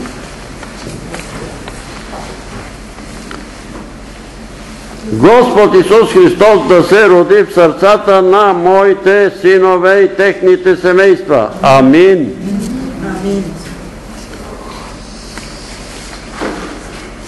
Престои ни дълго пътуване, Бог да бъде с нас. Амин. Господ да ви пази това пътуване от катастрофи, от лоши спътници. На моя син Николай, Господ да му помогне да откаже алкохола, но той самия трябва да направи усилие. Ние повтаряме, повтаряме, повтаряме. От Йоанна Кръстителя и насетне Царството Божие на сила се грабва. И насилници го грабват. Трябва да се насили, да направи усилие човек. Вие знаете, че Илийката Бог го освободи от наркотиците. Е тук с едно на този стол, неговия приятел и съквартирант от свърхдоза си замина. И бащата на неговия приятел и той замина. И той вижда какво става. Цена тук и казва, не мога, сам не мога да се Обаче правеше усилия. И го освободи Господ, сега е свещеник в правец. Освободи го, ама направи усилия. И после той дойде тук, още един наркоман седи тук и ние му казваме, че ние се молим, ама ти трябва да направиш усилия. И ние му казва, ето аз съм бил като тебе. Направи усилия, фърли ги, не, че се боли, не боли, пуше ти се, не пуше ти, пърга го изнем, няма да го се докосваш. И Бог ще те освободи. Направи това усилие. Така и с тия с алкохола. Имам бучки на коляното. Проверете какви с тия бучки, може да е мастопатия, нещо, което не е страшно. Имам рак на гърдата, Петя.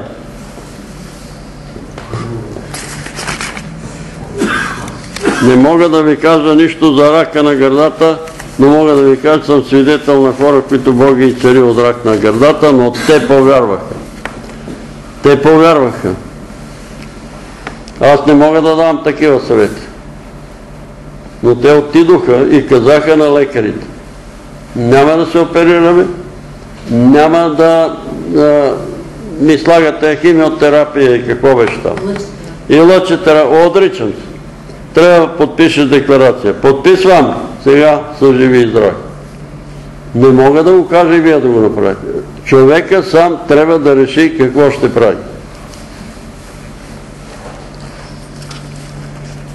За спасението на Антуанета и Славка. Божията милост да неутрализира силата на всяко зло и подкупите в съда и съдебните решения срещу християните, в това число и срещу мене. Амин.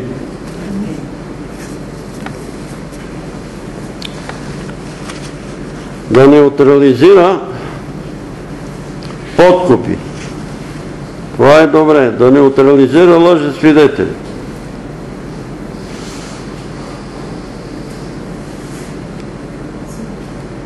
Да завърша отдавна започнатите неща с Божията милост, ваша сестра. Семейството ми да има единство, радост, мир, любов, благоуспяване, да сме здрави и послушни на Бога, ваша сестра. Имам дълбоко изгаряне на реката Костадинка. Господ да смири над Костадинка. Има мрак на белия дров и Юлиана. Искам да откажа алкохола, но не мога и Йоанна. Господ да смили на тия хора. Вижте какво. Рака не е играчка. Рака е демон. Ако не оправите живота си, няма как да стане. А рака е демон. Той се крие. Вие правите нещо в живота си, там има база и оттам ви атакува. Трябва да се покаяте. Трябва да очистите домовете си. Разберете го това. Разберете ме правилно. Моя първа братовчетка, първа братовчетка, нашите майки бяха сестри. Разболя се от рак на, на крака. Отивам у нея. Почваме да се молиме. И аз си казвам. Сестро, в момента Святия Дух ми казва, че няма да те изцери, ако не изхвърлиш от мазето портретите на Ленин. Ето казвам ви, пред Бога ви говоря. И тя казва вярно. Аз не знам кой има в мазето и живееше на редута. Зет ми е доцент в ВМИ Ленин и е събрал тук портрети на Ленин и е сложил в мазето. Кажи му да ги свърли, за да оздравееш. Кажи му. Е, Пешко, Пешко ми вика.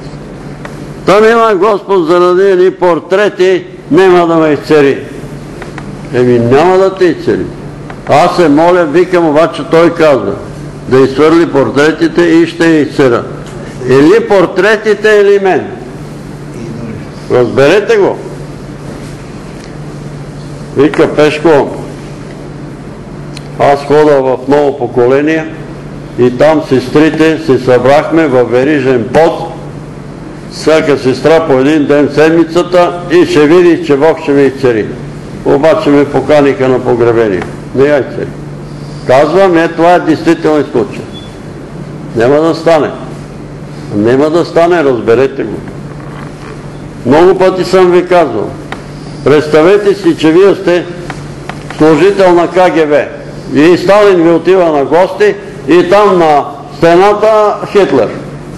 И какво, става това? Ако искате ме слушайте. Ако не се покаете, няма да стане. Разберете го.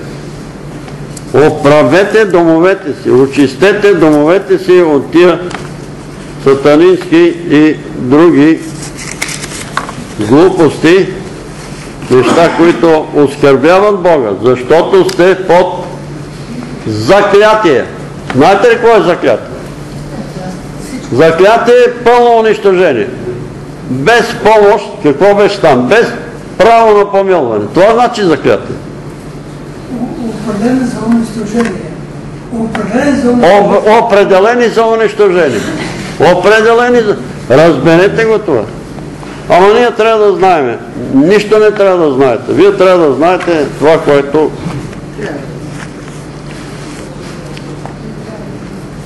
което Господ е казал в Словото. Това трябва да знаете. Ако искате ме слушайте. Сега, ама не, сега. Абе, брат Петре, абе, това не, няма никакво значение. Абе, ти какво ги говориш, бе? Абе, хората нищо не казват, тия другите проповедници казват. Време Господ казва в Словото, че плаца сам проклетията си. Какво те казват, другите проповедници не е важно. Важното е, че тия неща ви носят домовете проклятие. Проклетия. Заклети са за унищожение. И затова очиствайте домовете си, огледайте се, а ние се молиме. Но за да има резултат, направете го. И това, което казва Писанието. Диан, кротко, хубаво момче, Господ го посети със сила, но не е кръстен. Защо? На толкова години, на 30 години ли или повече? Да се кръсти и да вземе Господна вечера. Да се кръсти и да вземе Господна вечера. Да се съди. Ама той няма право да взема Господна вечера. Разбираш ли какво става? Защото не е в Божието общество. Той трябва да е записан в Божието общество. Ако взима, още по-лошо става. Разберете го, не може. Ама нали, аз съм слушал такива професори. Е, та разбойника на кръста да не би да беше кръстен. А откъде знаеш, че не беше кръстен? Ами ако беше кръстен. Ама той е на кръста, ръцете му вързани и краката вързани и не може да се кръсти. А вие? Вие вързани ли сте? Вързани ли сте, то не може да се кръщавате. Добре. Ето сега един брат се обади, Гергин. Ние се молиме за Гергин, той е получил подобрение, но има страхотни болки в томашната област и в сърцето. И тия дни е бил на контролен преглед, минал е там на различни процедури и прегледи и заключението на лекарите е, че е съвършенно здрав. И тия болки идват от нещо друго. И той го признава и казва на духовна основа. На духовна основа е да се молиме Гергин да бъде развързан и освободен. Ако имате вие да прославите Бога първо, кажи, брат Латине, Благодаря на Бога за моята другарка, че е селена от захар. Но моята дъщеричка не може да се оправи, Марияна. Тя е много зле.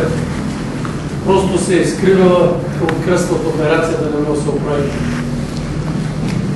ами продължаваме да се молиме. Ами радваме се, радваме се за твоята съпруга, че Господ е и царил, И ама и тя да се моли. тя се моли да... И сестрата и... Момичето, момичето. А? Момичето, момичето. Момичето. момичето. Се молиме за мен, че нещо съм настинал. Добре. Казвай, добре дошла. Добре, забавя. Ами, аз искам да прослава Бога и да му благодаря, че се молих тук много време за моя син, да си намери прия... другар в живота и да, да се задуми. Да. И тук преди да си дойда ми съобщи, че, че ставам баба. Има едно момиче. Утре ще ходим да го искаме, смисъл да се запознаваме. С моя И ми в- слава на Бога. надолу към юг, към а, Сандански. Там Сандански. Е, И те аз са... да благодаря на Бог. Македонците са по-вярващи. чу- Че ме чу. Тя също вярва. Нали, дава са ми мирен договор. Да. А, затова исках да благодаря на Господ. Да благодаря също, че сестра ми е попаднала на, нали, на доктор, който й даде лекарство. Аз си донесох от Испания. Изпратих и го и е малко по-добре. Но също искам тя да се обърне към Бог с цяла вяра, с цялата си душа и сърце. Все още, нали, да... И това. Да се обърне. Да благодаря, че ме е пазил, че ме е закрилил. Ами тия, дето се молят да ги срещне с Господ, да вземат пример. Ама трябва да потърсят. Обикновено редното е, нали, не момичето да прави предложение, а момчето. Ако тия ергени чакат момичета да дойдат да им направят предложение, много има да си чакат. То има и такива, не? Има и такива, но Искам само да помоля Бог да, да ги събере, да бъдат, да се разбират, да си разбират. да не се карат и да не се свърдат.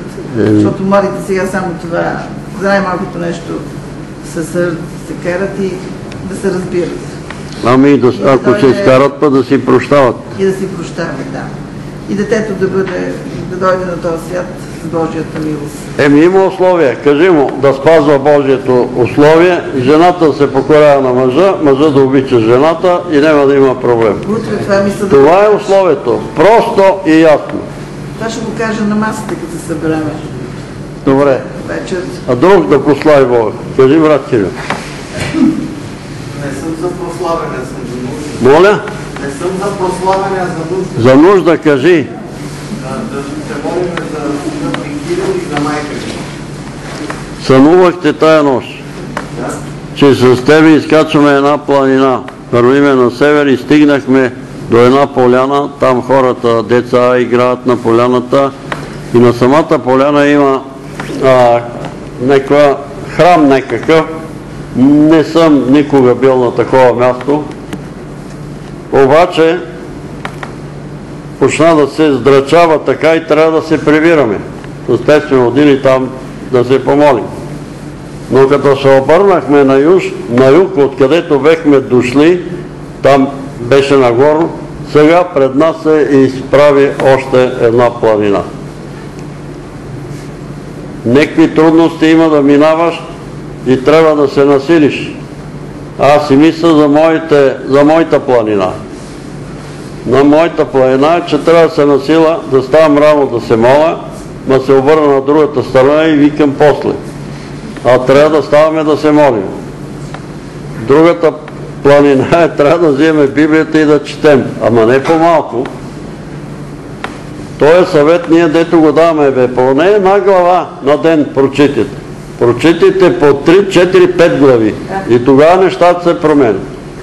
Дойде една сестра от Пловдив, дойдох от Пловдив едни хора.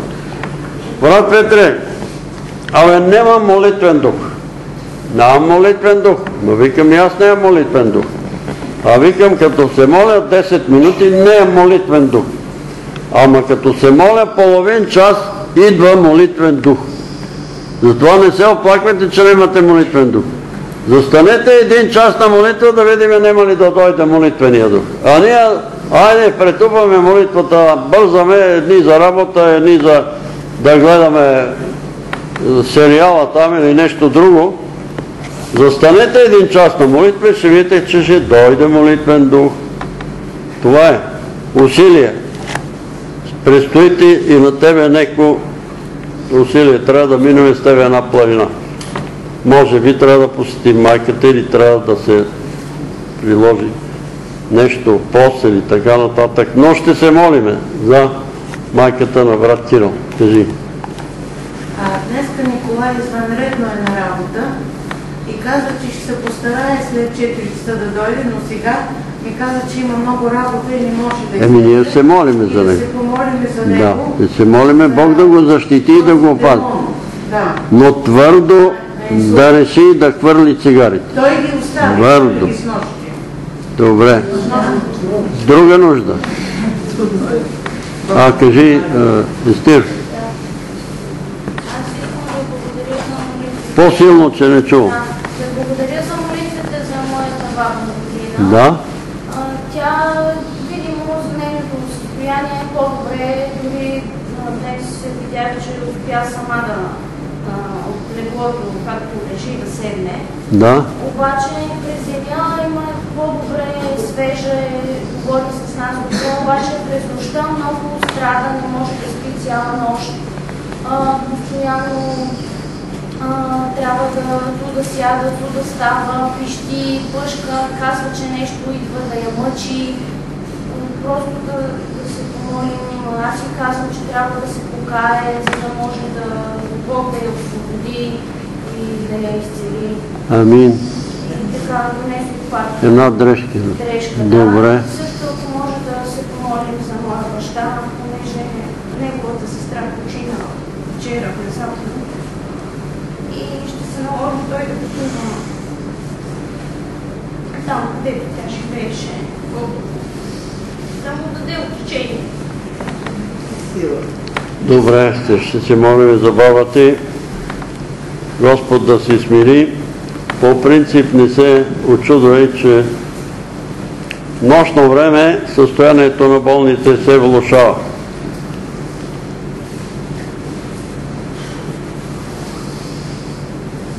Добре, да се изправим. А, брат Христо, не те видях, извинявай.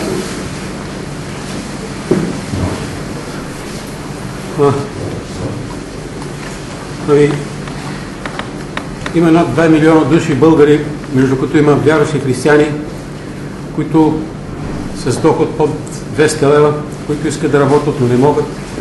И, или пък им е, идват тук, пък им е удобно, аз затова издигам пред небето, не теб не задължавам, Петро, пред небето издигам за защита и за решаване нуждите на сиромасите в България. и за мъдрост на управниците да помислят за тях. Амин. Амин. А моите нужди? Хранопровода. Пия лекарства силни, но не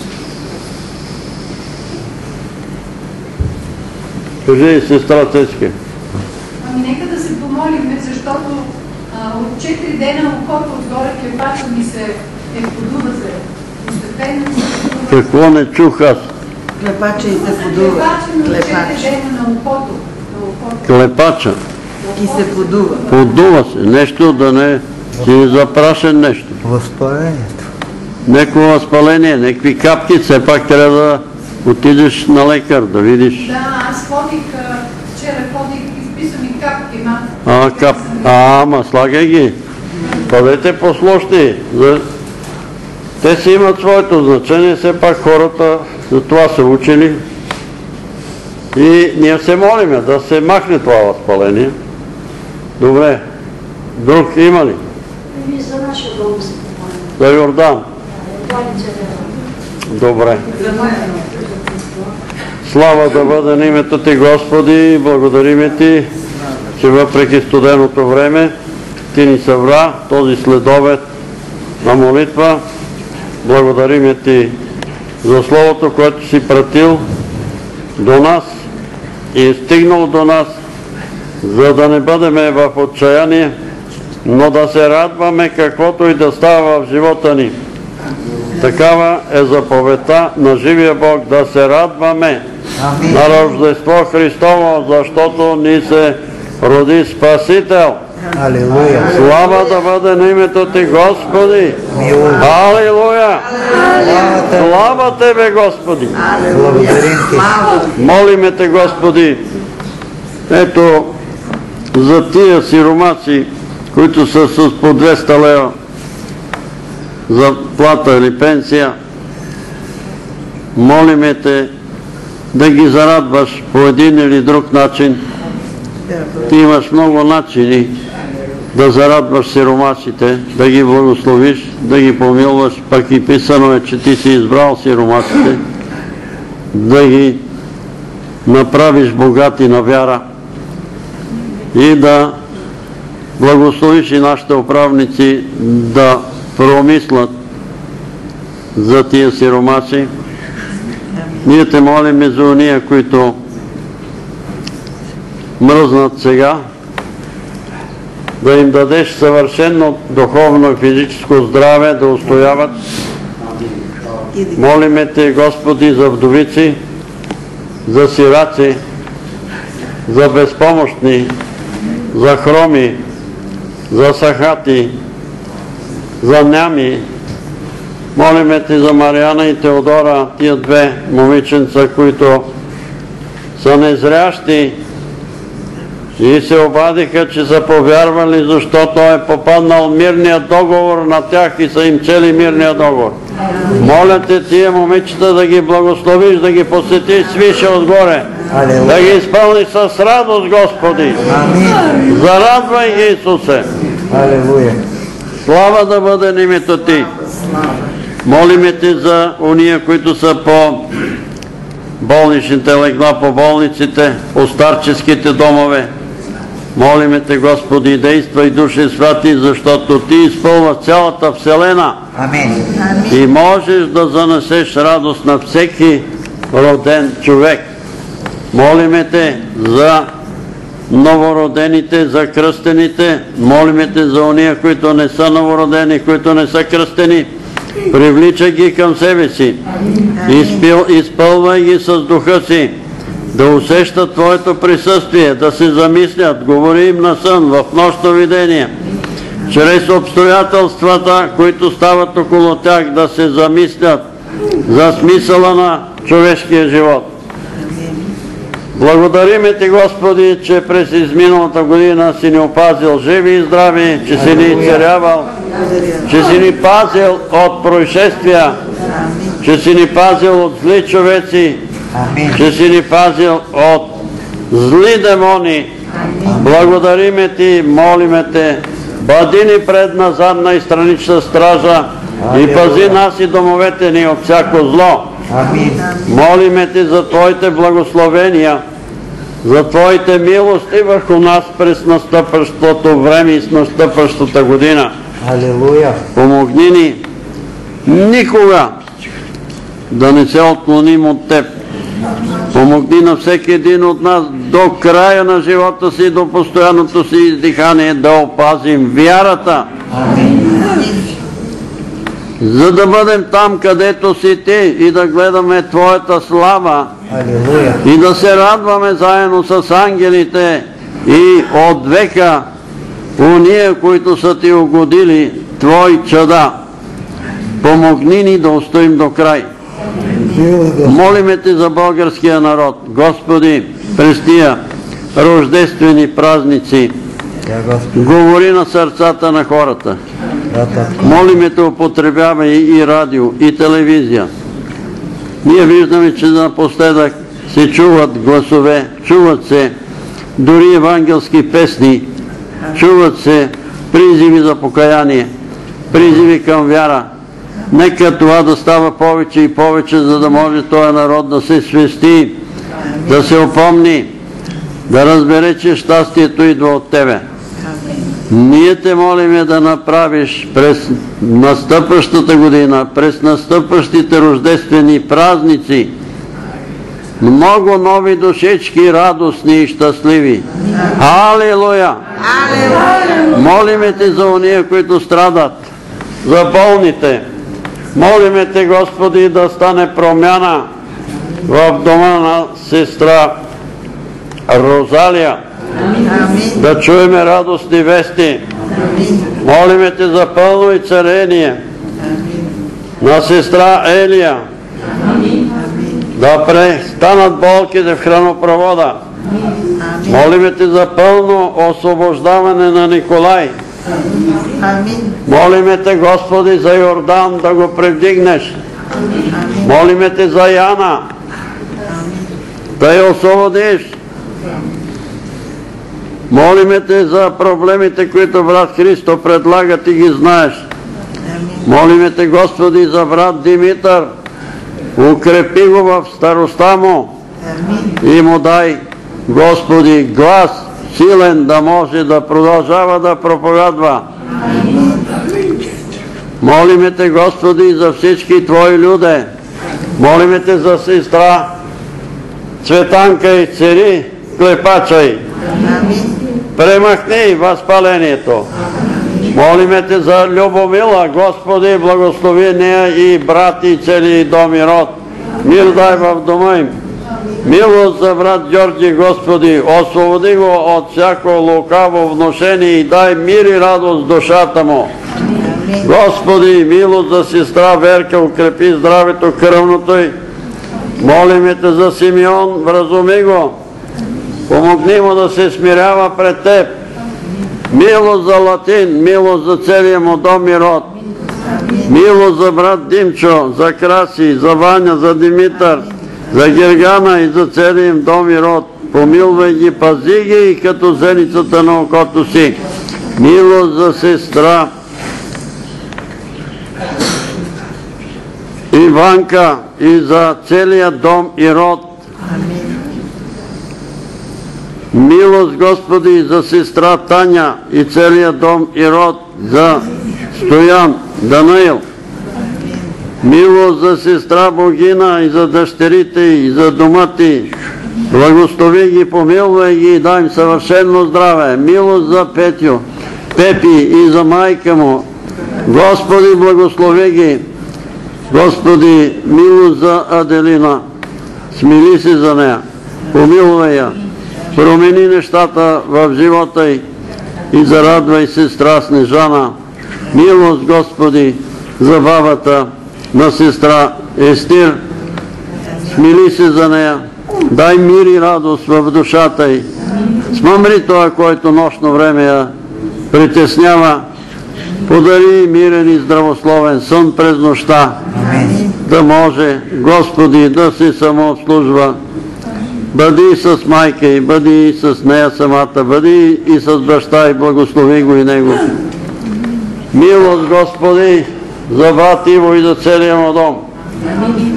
Милост за нуждите на Боримира и за целия дом и род. Милост за Калинка, Господи, и Церия, нея и майка и цари ги съвършенно. Дай им съвършенно здраве и съвършен мир и радост. Господи, нека и брат Сашо да чуеме за него подобни вести, че си намерил другарка и че е създал семейство. Чуй молитвата му. Молиме те за Емилия и за Лора. Помилвай ги, смили се и за тях. Милост за брат Георги и сестра Христина. Пази ги, давай им здраве и сили. Милост, Господи, за Галина и за децата и внуците и за зетюите й. Пази ги и помаги им във всяко добро дело. Господи, благослови брат Иван, той е самотен, но християните не сме самотни, защото Ти си винаги с нас. Благослови сестра Виолета и съпруга и дома им и целия им род. Господи, помилвай ги, слава да бъде на името Ти. Молиме Ти за сестра Весела, за майка и цария, роднините и братя, сестри, ако има. Благослови ги. Сега отново и отново те молим за Николай, дай му сили да дойде между нас, вече освободен, очистен от цигари, алкохол, от всичко това, което го е връзвало, от наркотици, да не допускаш, Господи, повече да се уврежда. Господи, помогни и на брат Димитър, който не става за Димитър Количев, а за този Димитър, който беше вързан и обладан и Сатана се старае да го погуби и да го прати в ада. Дай му сили да се откъсне от греха и да заживее по Твоята воля, за да спаси душата си. Милост за брат Иван и за сестра Мария, за Тервел, за дъщерите им, за внуците им и за целия им дом. И за Йорданка вразумия, доведи я до спасително покаяние и промяна в ума й. Промени ума й, Господи. Сине Давидо, смири се за всички Твои люди, които се намират на това място, за сестра Мария и нейния дом и род. Алелуя. За Виктор и неговия дом и род, за всички наши брата и сестри. Алелуя. Ето ние тук имаме един списък от 120 души и те молиме, Господи, че не сме ги на това място и Ти ги знаеш, защото си вездесъщ преди да сме ги написали, преди да сме ги казали, Ти ги знаеш. По-отделно всички благослови ги там, където са по чужбина. Помилвай ги, пази ги от всяко зло. Живи и здрави. Да бъдат там и да се завърнат пак живи и здрави. Моля те за сина на тая сестра, който си е намерил другарка в живота, благослови това семейство. Да бъде благословено, да бъде под Твоя покров, под Твоя защита. Ти ги пази, помагай им и благославяй ги. Милост за сестра Здравка и цари очите, ушите, главата й и цария Господи, слава да бъде на името Ти.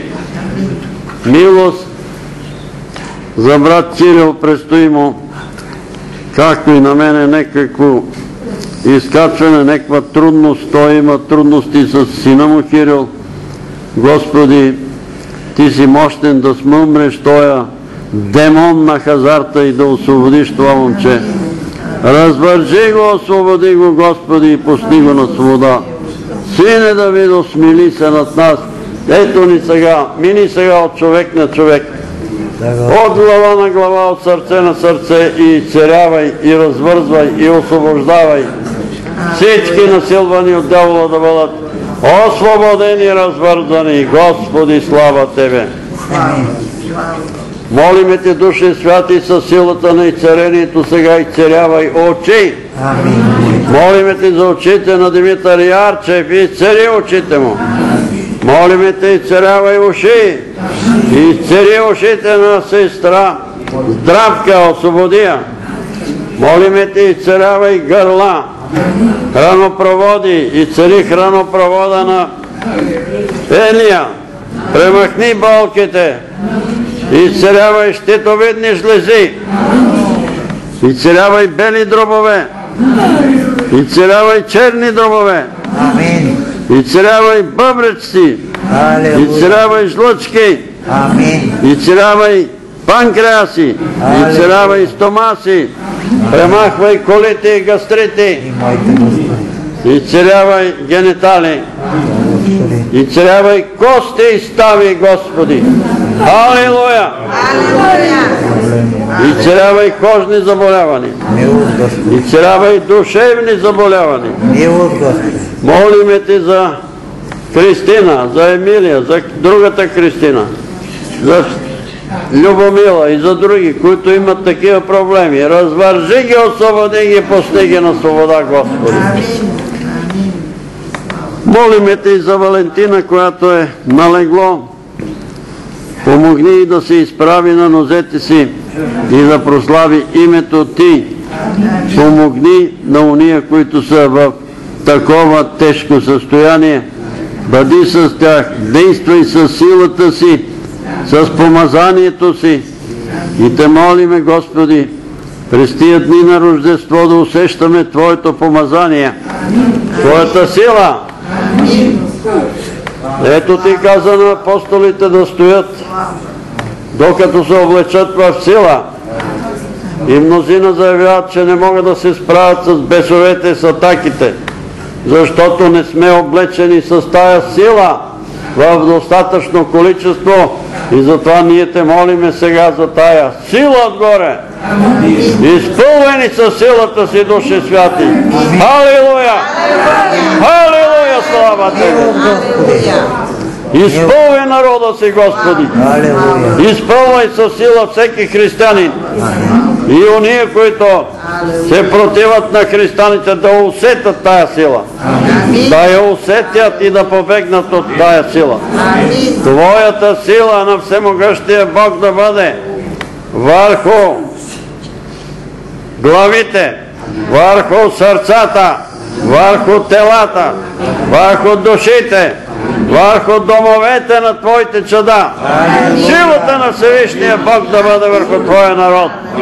Господи, отново те молиме за Твоята армия от ангели, небесни воинства да застанат срещу магиосниците в България, да съсипат делата им.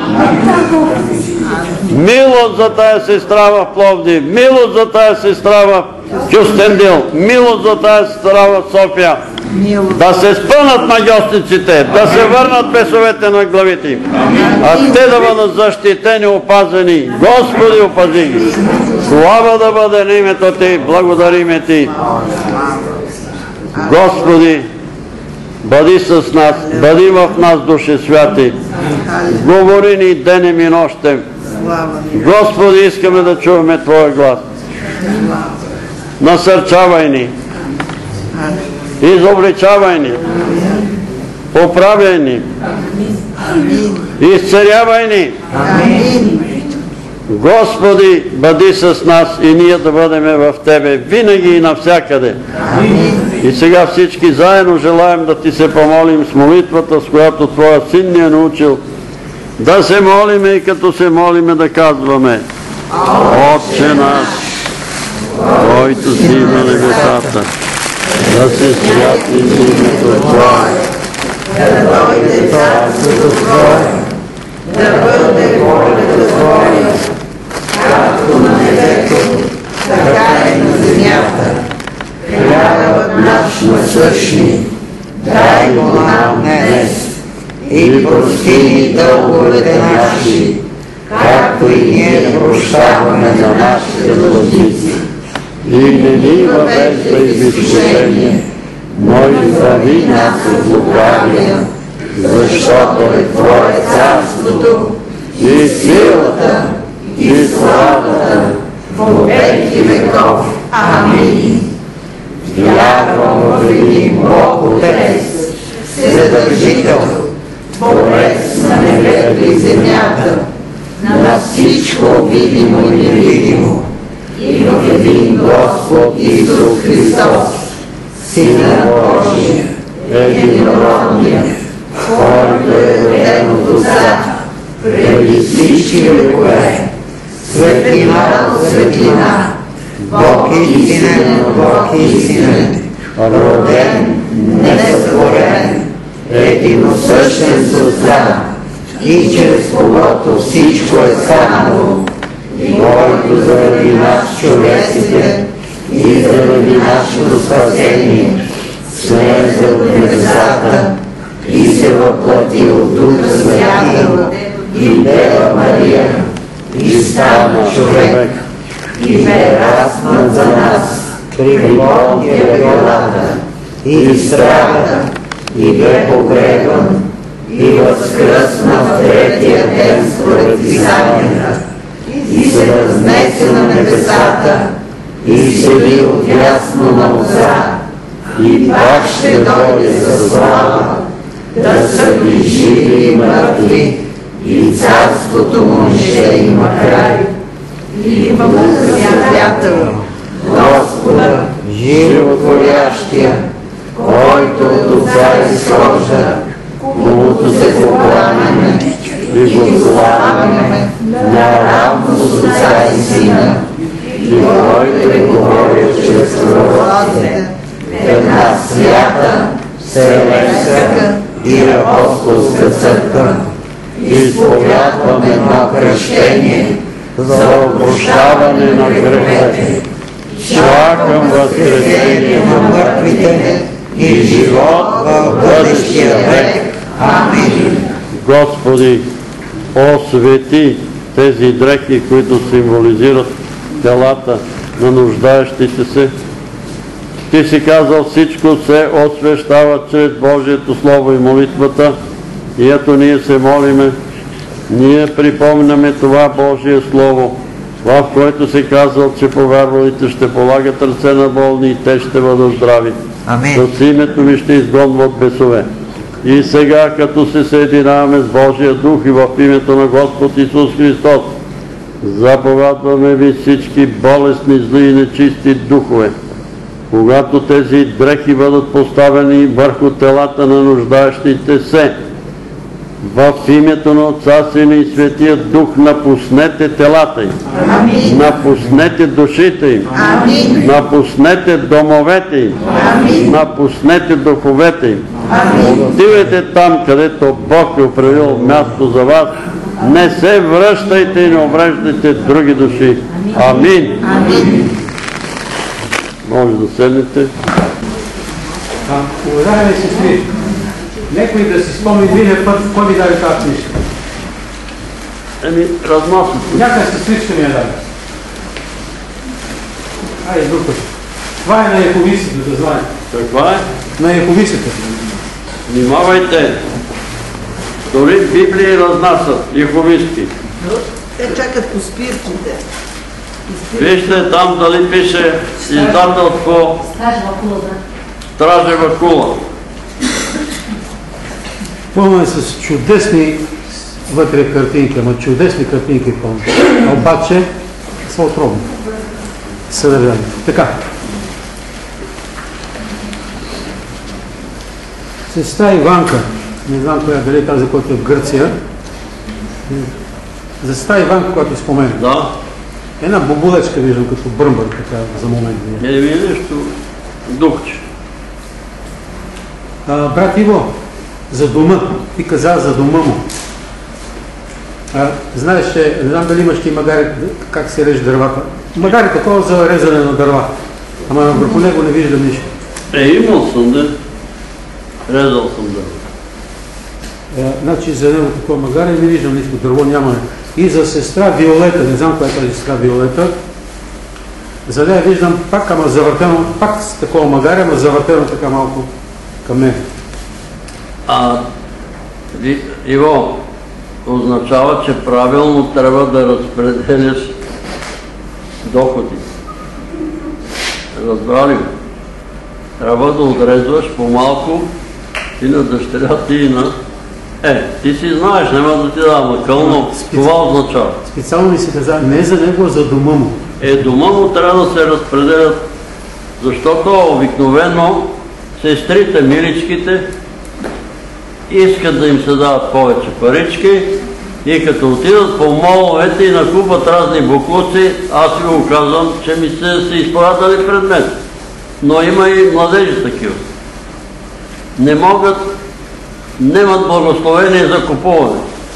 Тръгнете ли по пазара, Господи, благослови ме за правилно купуване, да си купа това, което ми трябва, да си купа това, което е вкусно, което е добро, да не купувам буклуци. И за сестра Виолета, не знам коя каза Виолета, пак такова мале, пак зарезане на дърва. Но... Една Виолета. в момента не мога. Да. Тя е Виолета. За брат Димитър, който е за спасение на душата му. Да, той си отиде, май. Тук ли си, Димитър? Ето го, тук си. Значи една такава свеж виждам, брат Петра, я виждам отгоре така. Да. Дебела свеща, обаче пламъчето малко така и подмигва, подмигва. Има опасност да изтине вярата ти. Внимавай. И като... Пазете се, държте здравото учение, за да не се увличате по всеки ветър на учение, защото идват различни ветрове, различни учения. Аз знам, че ти обикаляш по много църкви и ще попаднеш на някой ветър, който ще ти издуха вярата и ще ти каже, не се притеснявай, аз пи и весели се, няма проблем. По-натам. И когато почна да се молиш, Господи, така изцелява и ни. Да. И ни до това стоих. А де са деветимата? А де са деветимата? Един се върна като изцеля, само, а ти девет ги нямаш. Ама изцелявал няма, И аз, аз се виждам се между тия деветима. Миналата година по това време на левия крак имах една рана, колкото три еднолъви монети. Такава рана има. А сега нямам нищо. Да благодаря. Трябва да благодарим винаги. Благодари. И аз съм благодарен, а пак ще му благодаря на Бога, че сега нямам ги раните. Е, имам още за, нали, има още тук за оросяване и така нататък, но нямам рани. Благодаря на Бога. Слава на Бога. Слава. Добре. За магиосниците, които ще дойдат, ще притесняват и тормозят хората да се върнат магиите на главите им. Виждам един танк, който е с дигнато оръдие напред и върви. Готов да стреля. За Димитър Ярчев. Сега, извинявай, Панчо. Танка на мене ми е откриван от друг път, че това е изпълнение със Святия Дух. Тия сестри, които имат тия проблеми, трябва да се молят с духа си, не само с ума си, а да се молят и с духа си и да се изпълват със Святия Дух. И тогава тия магиосници, казвам ви го от опит, един брат Цецо беше от младост две, когато той повярва, жена му и майка й тръгнаха по магиосници да му правят магии, за да го спасат от вярата. И тогава той започна да се моли. Много усърдно се молеше момчето и Бог го изпълваше Святия Дух. Но казваше, че когато а, вечерно време преди да си заспи, на трима мъже, че идват така с ръцете към него да го сграбчат и чувства някакви студени тръпки, нещо ужасно, че идва към него. И той каза, кръвта на Исус. И когато каже кръвта на Исус, те се дръпват. Ама пак тръгват. Кръвта на Исус. Нали това е негово свидетелство. И казва по едно време, ме изпълни Святия Дух, изговорих някакви непознати думи и като дойде един пламък и цаята, завърте се така и като ги парна, вика и те изчезнаха. От тогава не са се явили. От тогава не се появиха. Разбрахте ли? Добре, давай натам. За Димитър Ярчев.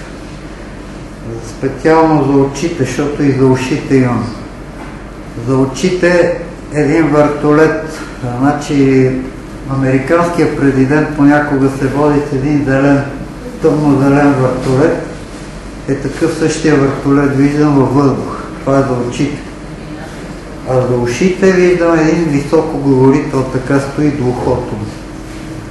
Не знам какво ще рече. Ами трябва да слуша Словото Божие, да слуша и не само го слуша, ами и да го изпълнява. И тогава нещата се оправят. Той иска нека в Мехлем да му намеря за очите.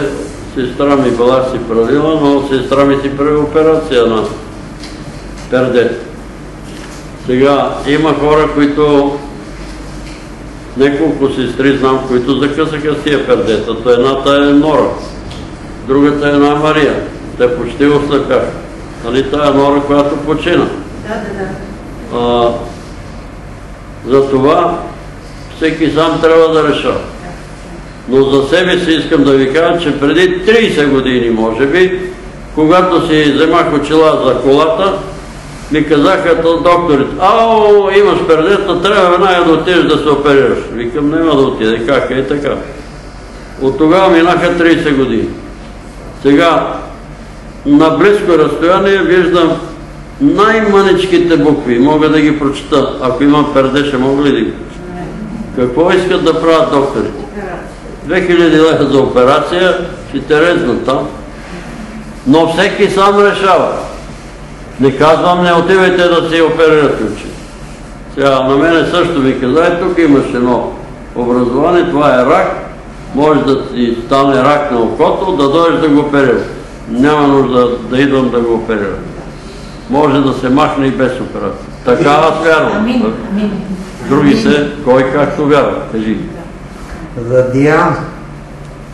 Виждам Майко. един болит от Формула 1, автомобил от Формула 1. Това виждам. Да не бъде прибързан в някакви неща. Такъв ли? Аз мисля, че не е такъв. Нали кротък? Напротив, точно, че прибързва. Прибързан ли? Да. Е, брат Христо знае какво пише за прибързане. Да не бъде по-спокойно, спокойно, крот.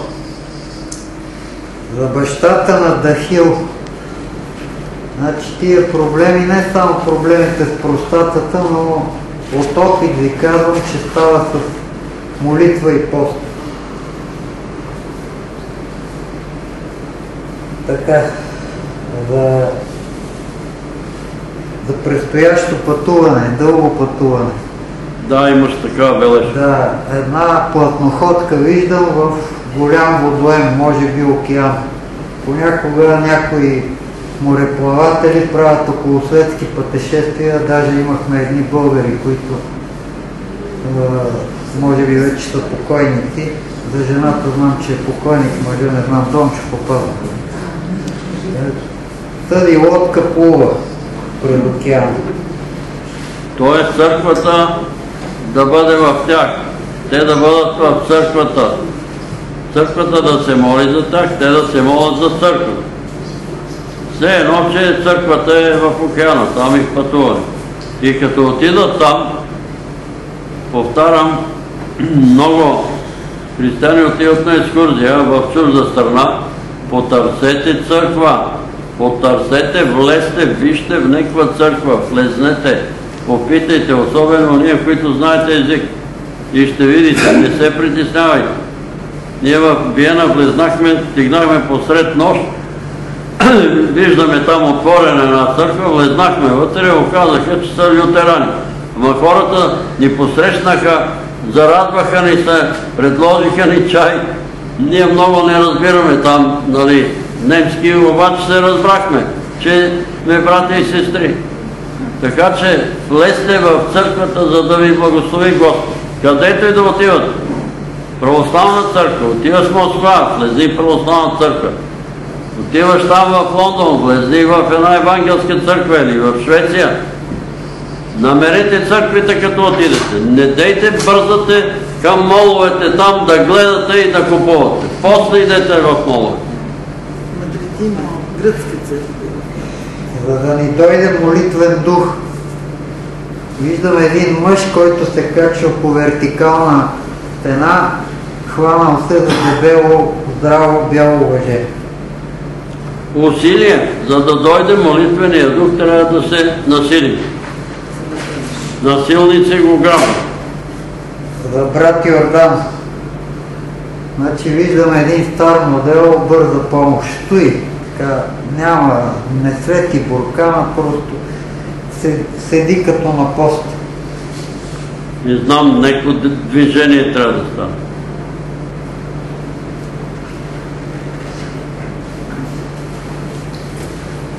Така, за сиромасите в България и въобще и в света, за сиромаси, за вдовици, за сираци, чувам тия думи. За всеки има изход. И това е Господ Исус Христос. Амин. Алелуя. Алелуя. за болните по болничните легла. Тях също.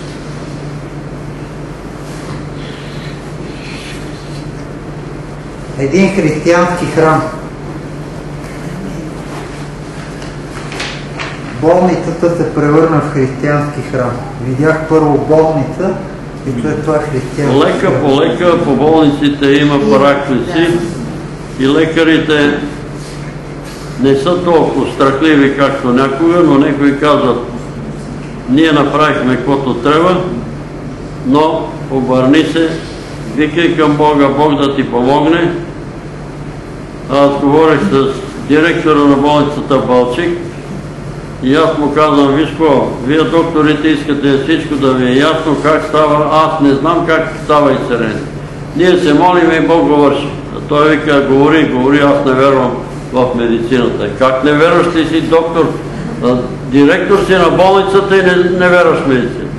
Не бе, не че не вярвам, ама аз не вярвам, че медицината лекува. Е, кой лекува? Питам ти какъв си по професия? Хирург.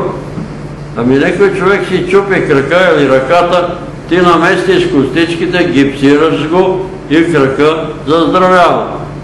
И той ме пита, аз ли правя крака да заздравее?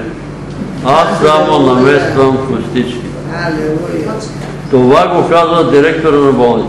Ако всички лекари така говорят на хората, да разберат, че Бог лекува. Те са в ръцете му инструменти. Но той, който лекува. Те оперират, те ще ти направи пломбата, но ако не е Божията воля, ще падне и зъба заедно с пломбата. Добре, казвай.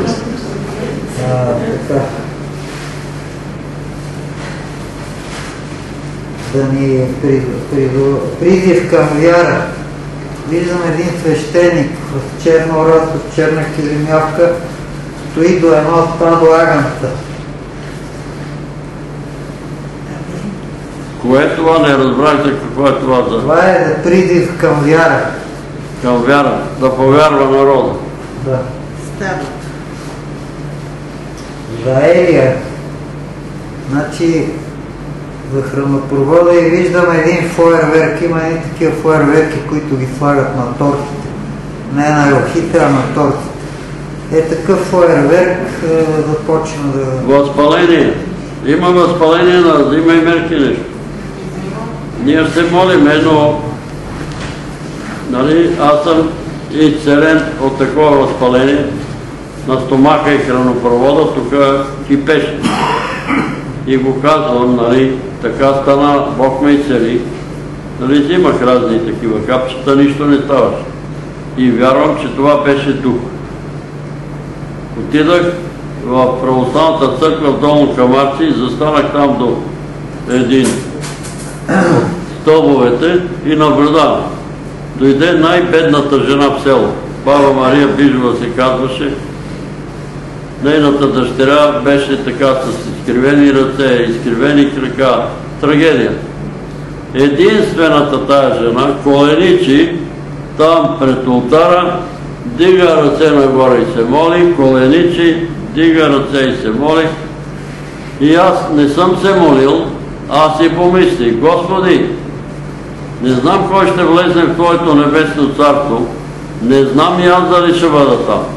Но за тая баба Мария съм сигурен, тя толкова прилича на бедния Лазар и на кащия Семитър. Толкова много прилича. И в този момент усетих една длан. Дойде тук на главата ми каза така върху лицето ми, направи един кръг около коремната област и ga тък и от тогава край с възпаление. Може би 30 или 40 години след това пих каша да ми проверяват стомаха и имал си вика много жестоко възпаление на стомашната типа, защото е много груба. Имаш ли проблеми? От тогава до сега никакви проблеми. И измъкна го. Какво измъкна? Това е било някакъв дух. Аз така го разбирам. За да го измъкне за един миг. Но може и да е изцерение. Дето казваше отдея брат Димитър. Не знам как става, ама стана. Стана. Така и ти. Моли се. Словото Божие да бъде, ето аз не се моли, но разсъждавах. Тая жена прилича на кащия самитър на бедния ладен. И Господ ще й покаже мило. Повярвах, че на нея ще покаже, а той показа и на мен. Кажи. Така за Цветелина, където има възпаление на клепача, виждаме един ляв мигач на кола, мига така. Мига мигач. Не се отклонява и наляво или надясно. Кой мигач е? Десният? Левия. Ама десният? Левия, левия.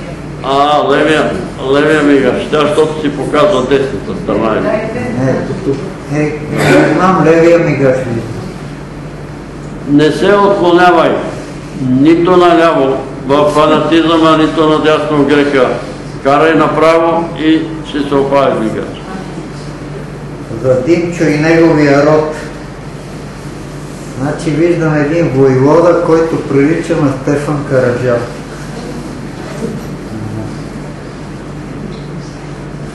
Има ли войводи в този род там? Некой прадядо, войвода да има? Освен дядо Димо Змея.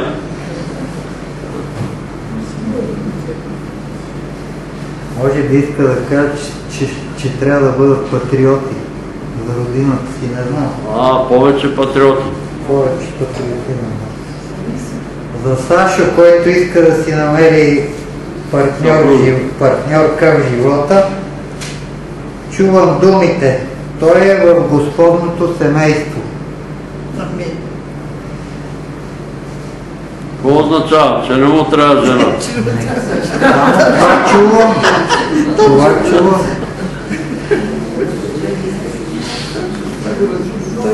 От Господното семейство ще проистече и партньорката. Ама няма... Партньорка бе, съпруга бе, стиги ти партньорка. Съпруга. Партньорка. Съпруга, Да, съпруга. бе, съпруга.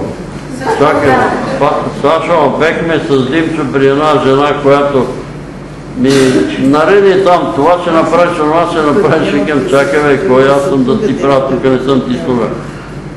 Ти вика, за това не си се оженил, защото не си пробивен. Мъжът трябва да бъде пробивен, да настъпва и да настъпва и жената се предаде. Ако имаш някоя такава, трябва да настъпваш. И крепостта ще се предаде. Не чакай Господ да ти я донесе на тепсия. Трябва да получи видение или сън. Една сестра ми се обади по телефона, че е сънувала сън, че седи на първия ред в Църква Божия. И брат Павел я пита, съгласна ли, се да се, съгласна ли си да се омъжиш за него? А тя отговаря, ще питам Господ, каквото каже той, това е. Ще питам Господ, питайте Господ. Той е подходяща ли? Той е подходящ ли е за мен Господ? Ама има много хубави очи, бе, остави му очите. Виж дали Господ е в него и дали той е в Господ. Преди време брат Иво проповядваше тук на Амвона и каза Господ ми проговори за конкретния човек. Обаче и на него му беше говорил за мен. А, това е съвсем. Ето това е. Точно. Така, за Николай. На Цецка виждам една полицейска кола, ама само седи без буркан, без нищо. Така седи на до пътя. Ами проблемите няма да има големи проблеми, няма да има. Ще се оправи. Това е едно предупреждение за него, че ако не се откаже, идват наказания. така за 120 души в списъка на, на болните. Полководец върви, ама само него виждам, не виждам войската, само полководеца марширува. Болните да тръгват след пастира Господ Исус Христос, добрия пастир и нещата ще се оправят. За Валентина виждам една лодка, която е изоставена, като изоставена в водоема, приближава се до пристана, обаче още не е стигнал. Но няма никой вътре. Горката напълно е изоставена. Да.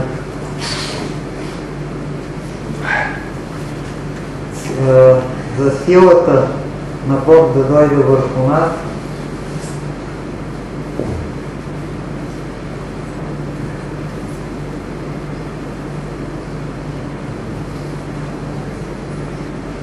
за символ на вярата. Сега това не мога да изчитам. Символ, за символа на вярата виждам един конник, кълбой, който размахва ласо. В символа на вярата има сила, запомнете го.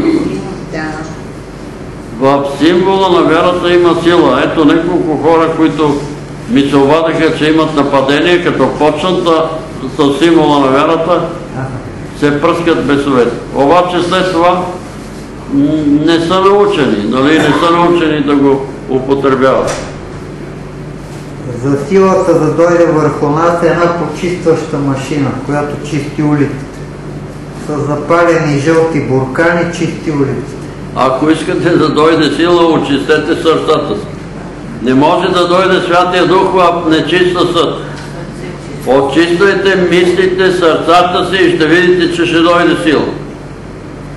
Но се и молете и пазете се от греха. И за дрехите избухна много силен пожар на много голяма височина, почти до покрива. Аз го усетих, вярвайте, дрехите са помазани, занесете ги и кажете на болните. Когато слагате, слагат дрехи, да казват, Господи, благодаря ти, че показваш милост към мен. Кажете им да го приемат с благодарност. Добре, има ли друг някой нещо? Няма. Сестра Ваня, а в неделя ще имате ли събрание? Утре, да. От колко? А, а след обед? Ще има, да. От 5. Кой от 5? От 17 часа е брат Юрий. От 5 часа. А в понеделник? Рождество Христово е понеделник. А понеделник ще имате ли събрание? От 10. От 10. А след обед? Е, след обед няма сигурно. Понеделник от 10. Сточна гара ще има ли в понеделник? Моля? В понеделник на Сточна гара ще има ли? Ще има, да. От колко? Ами трябва да го направим по-рано там. Или тук, който желая, все пак. Заповядайте или тук, или там, но не бива тия дни и тия празници да се излежаваме вкъщи. Кажи Къде, къде да го или понеделник? Кажи ни къде. Ами тук в неделя и в събота и понеделник на Сточна гара. А вие понеделник ще имате ли тук? От 10. Така че сутринта от 10 заповядайте и тук. Брат Евгений ще бъде. Да, добре. А вечерта? Вечерта няма, нали нямате вечерта? Понеделник. Еми нямате, сутринта като имате. Точна гара, да. Еми ще видиме, ще ви се обади. Добре, да се изправим и да завършим.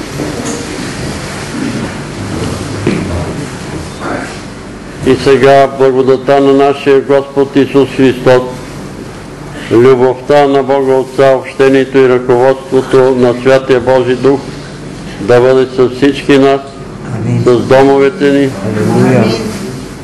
с църквите ни, с народа ни и църквата на Господ Исус Христос в България и в целия свят от сега и до века. Амин. Алелуя.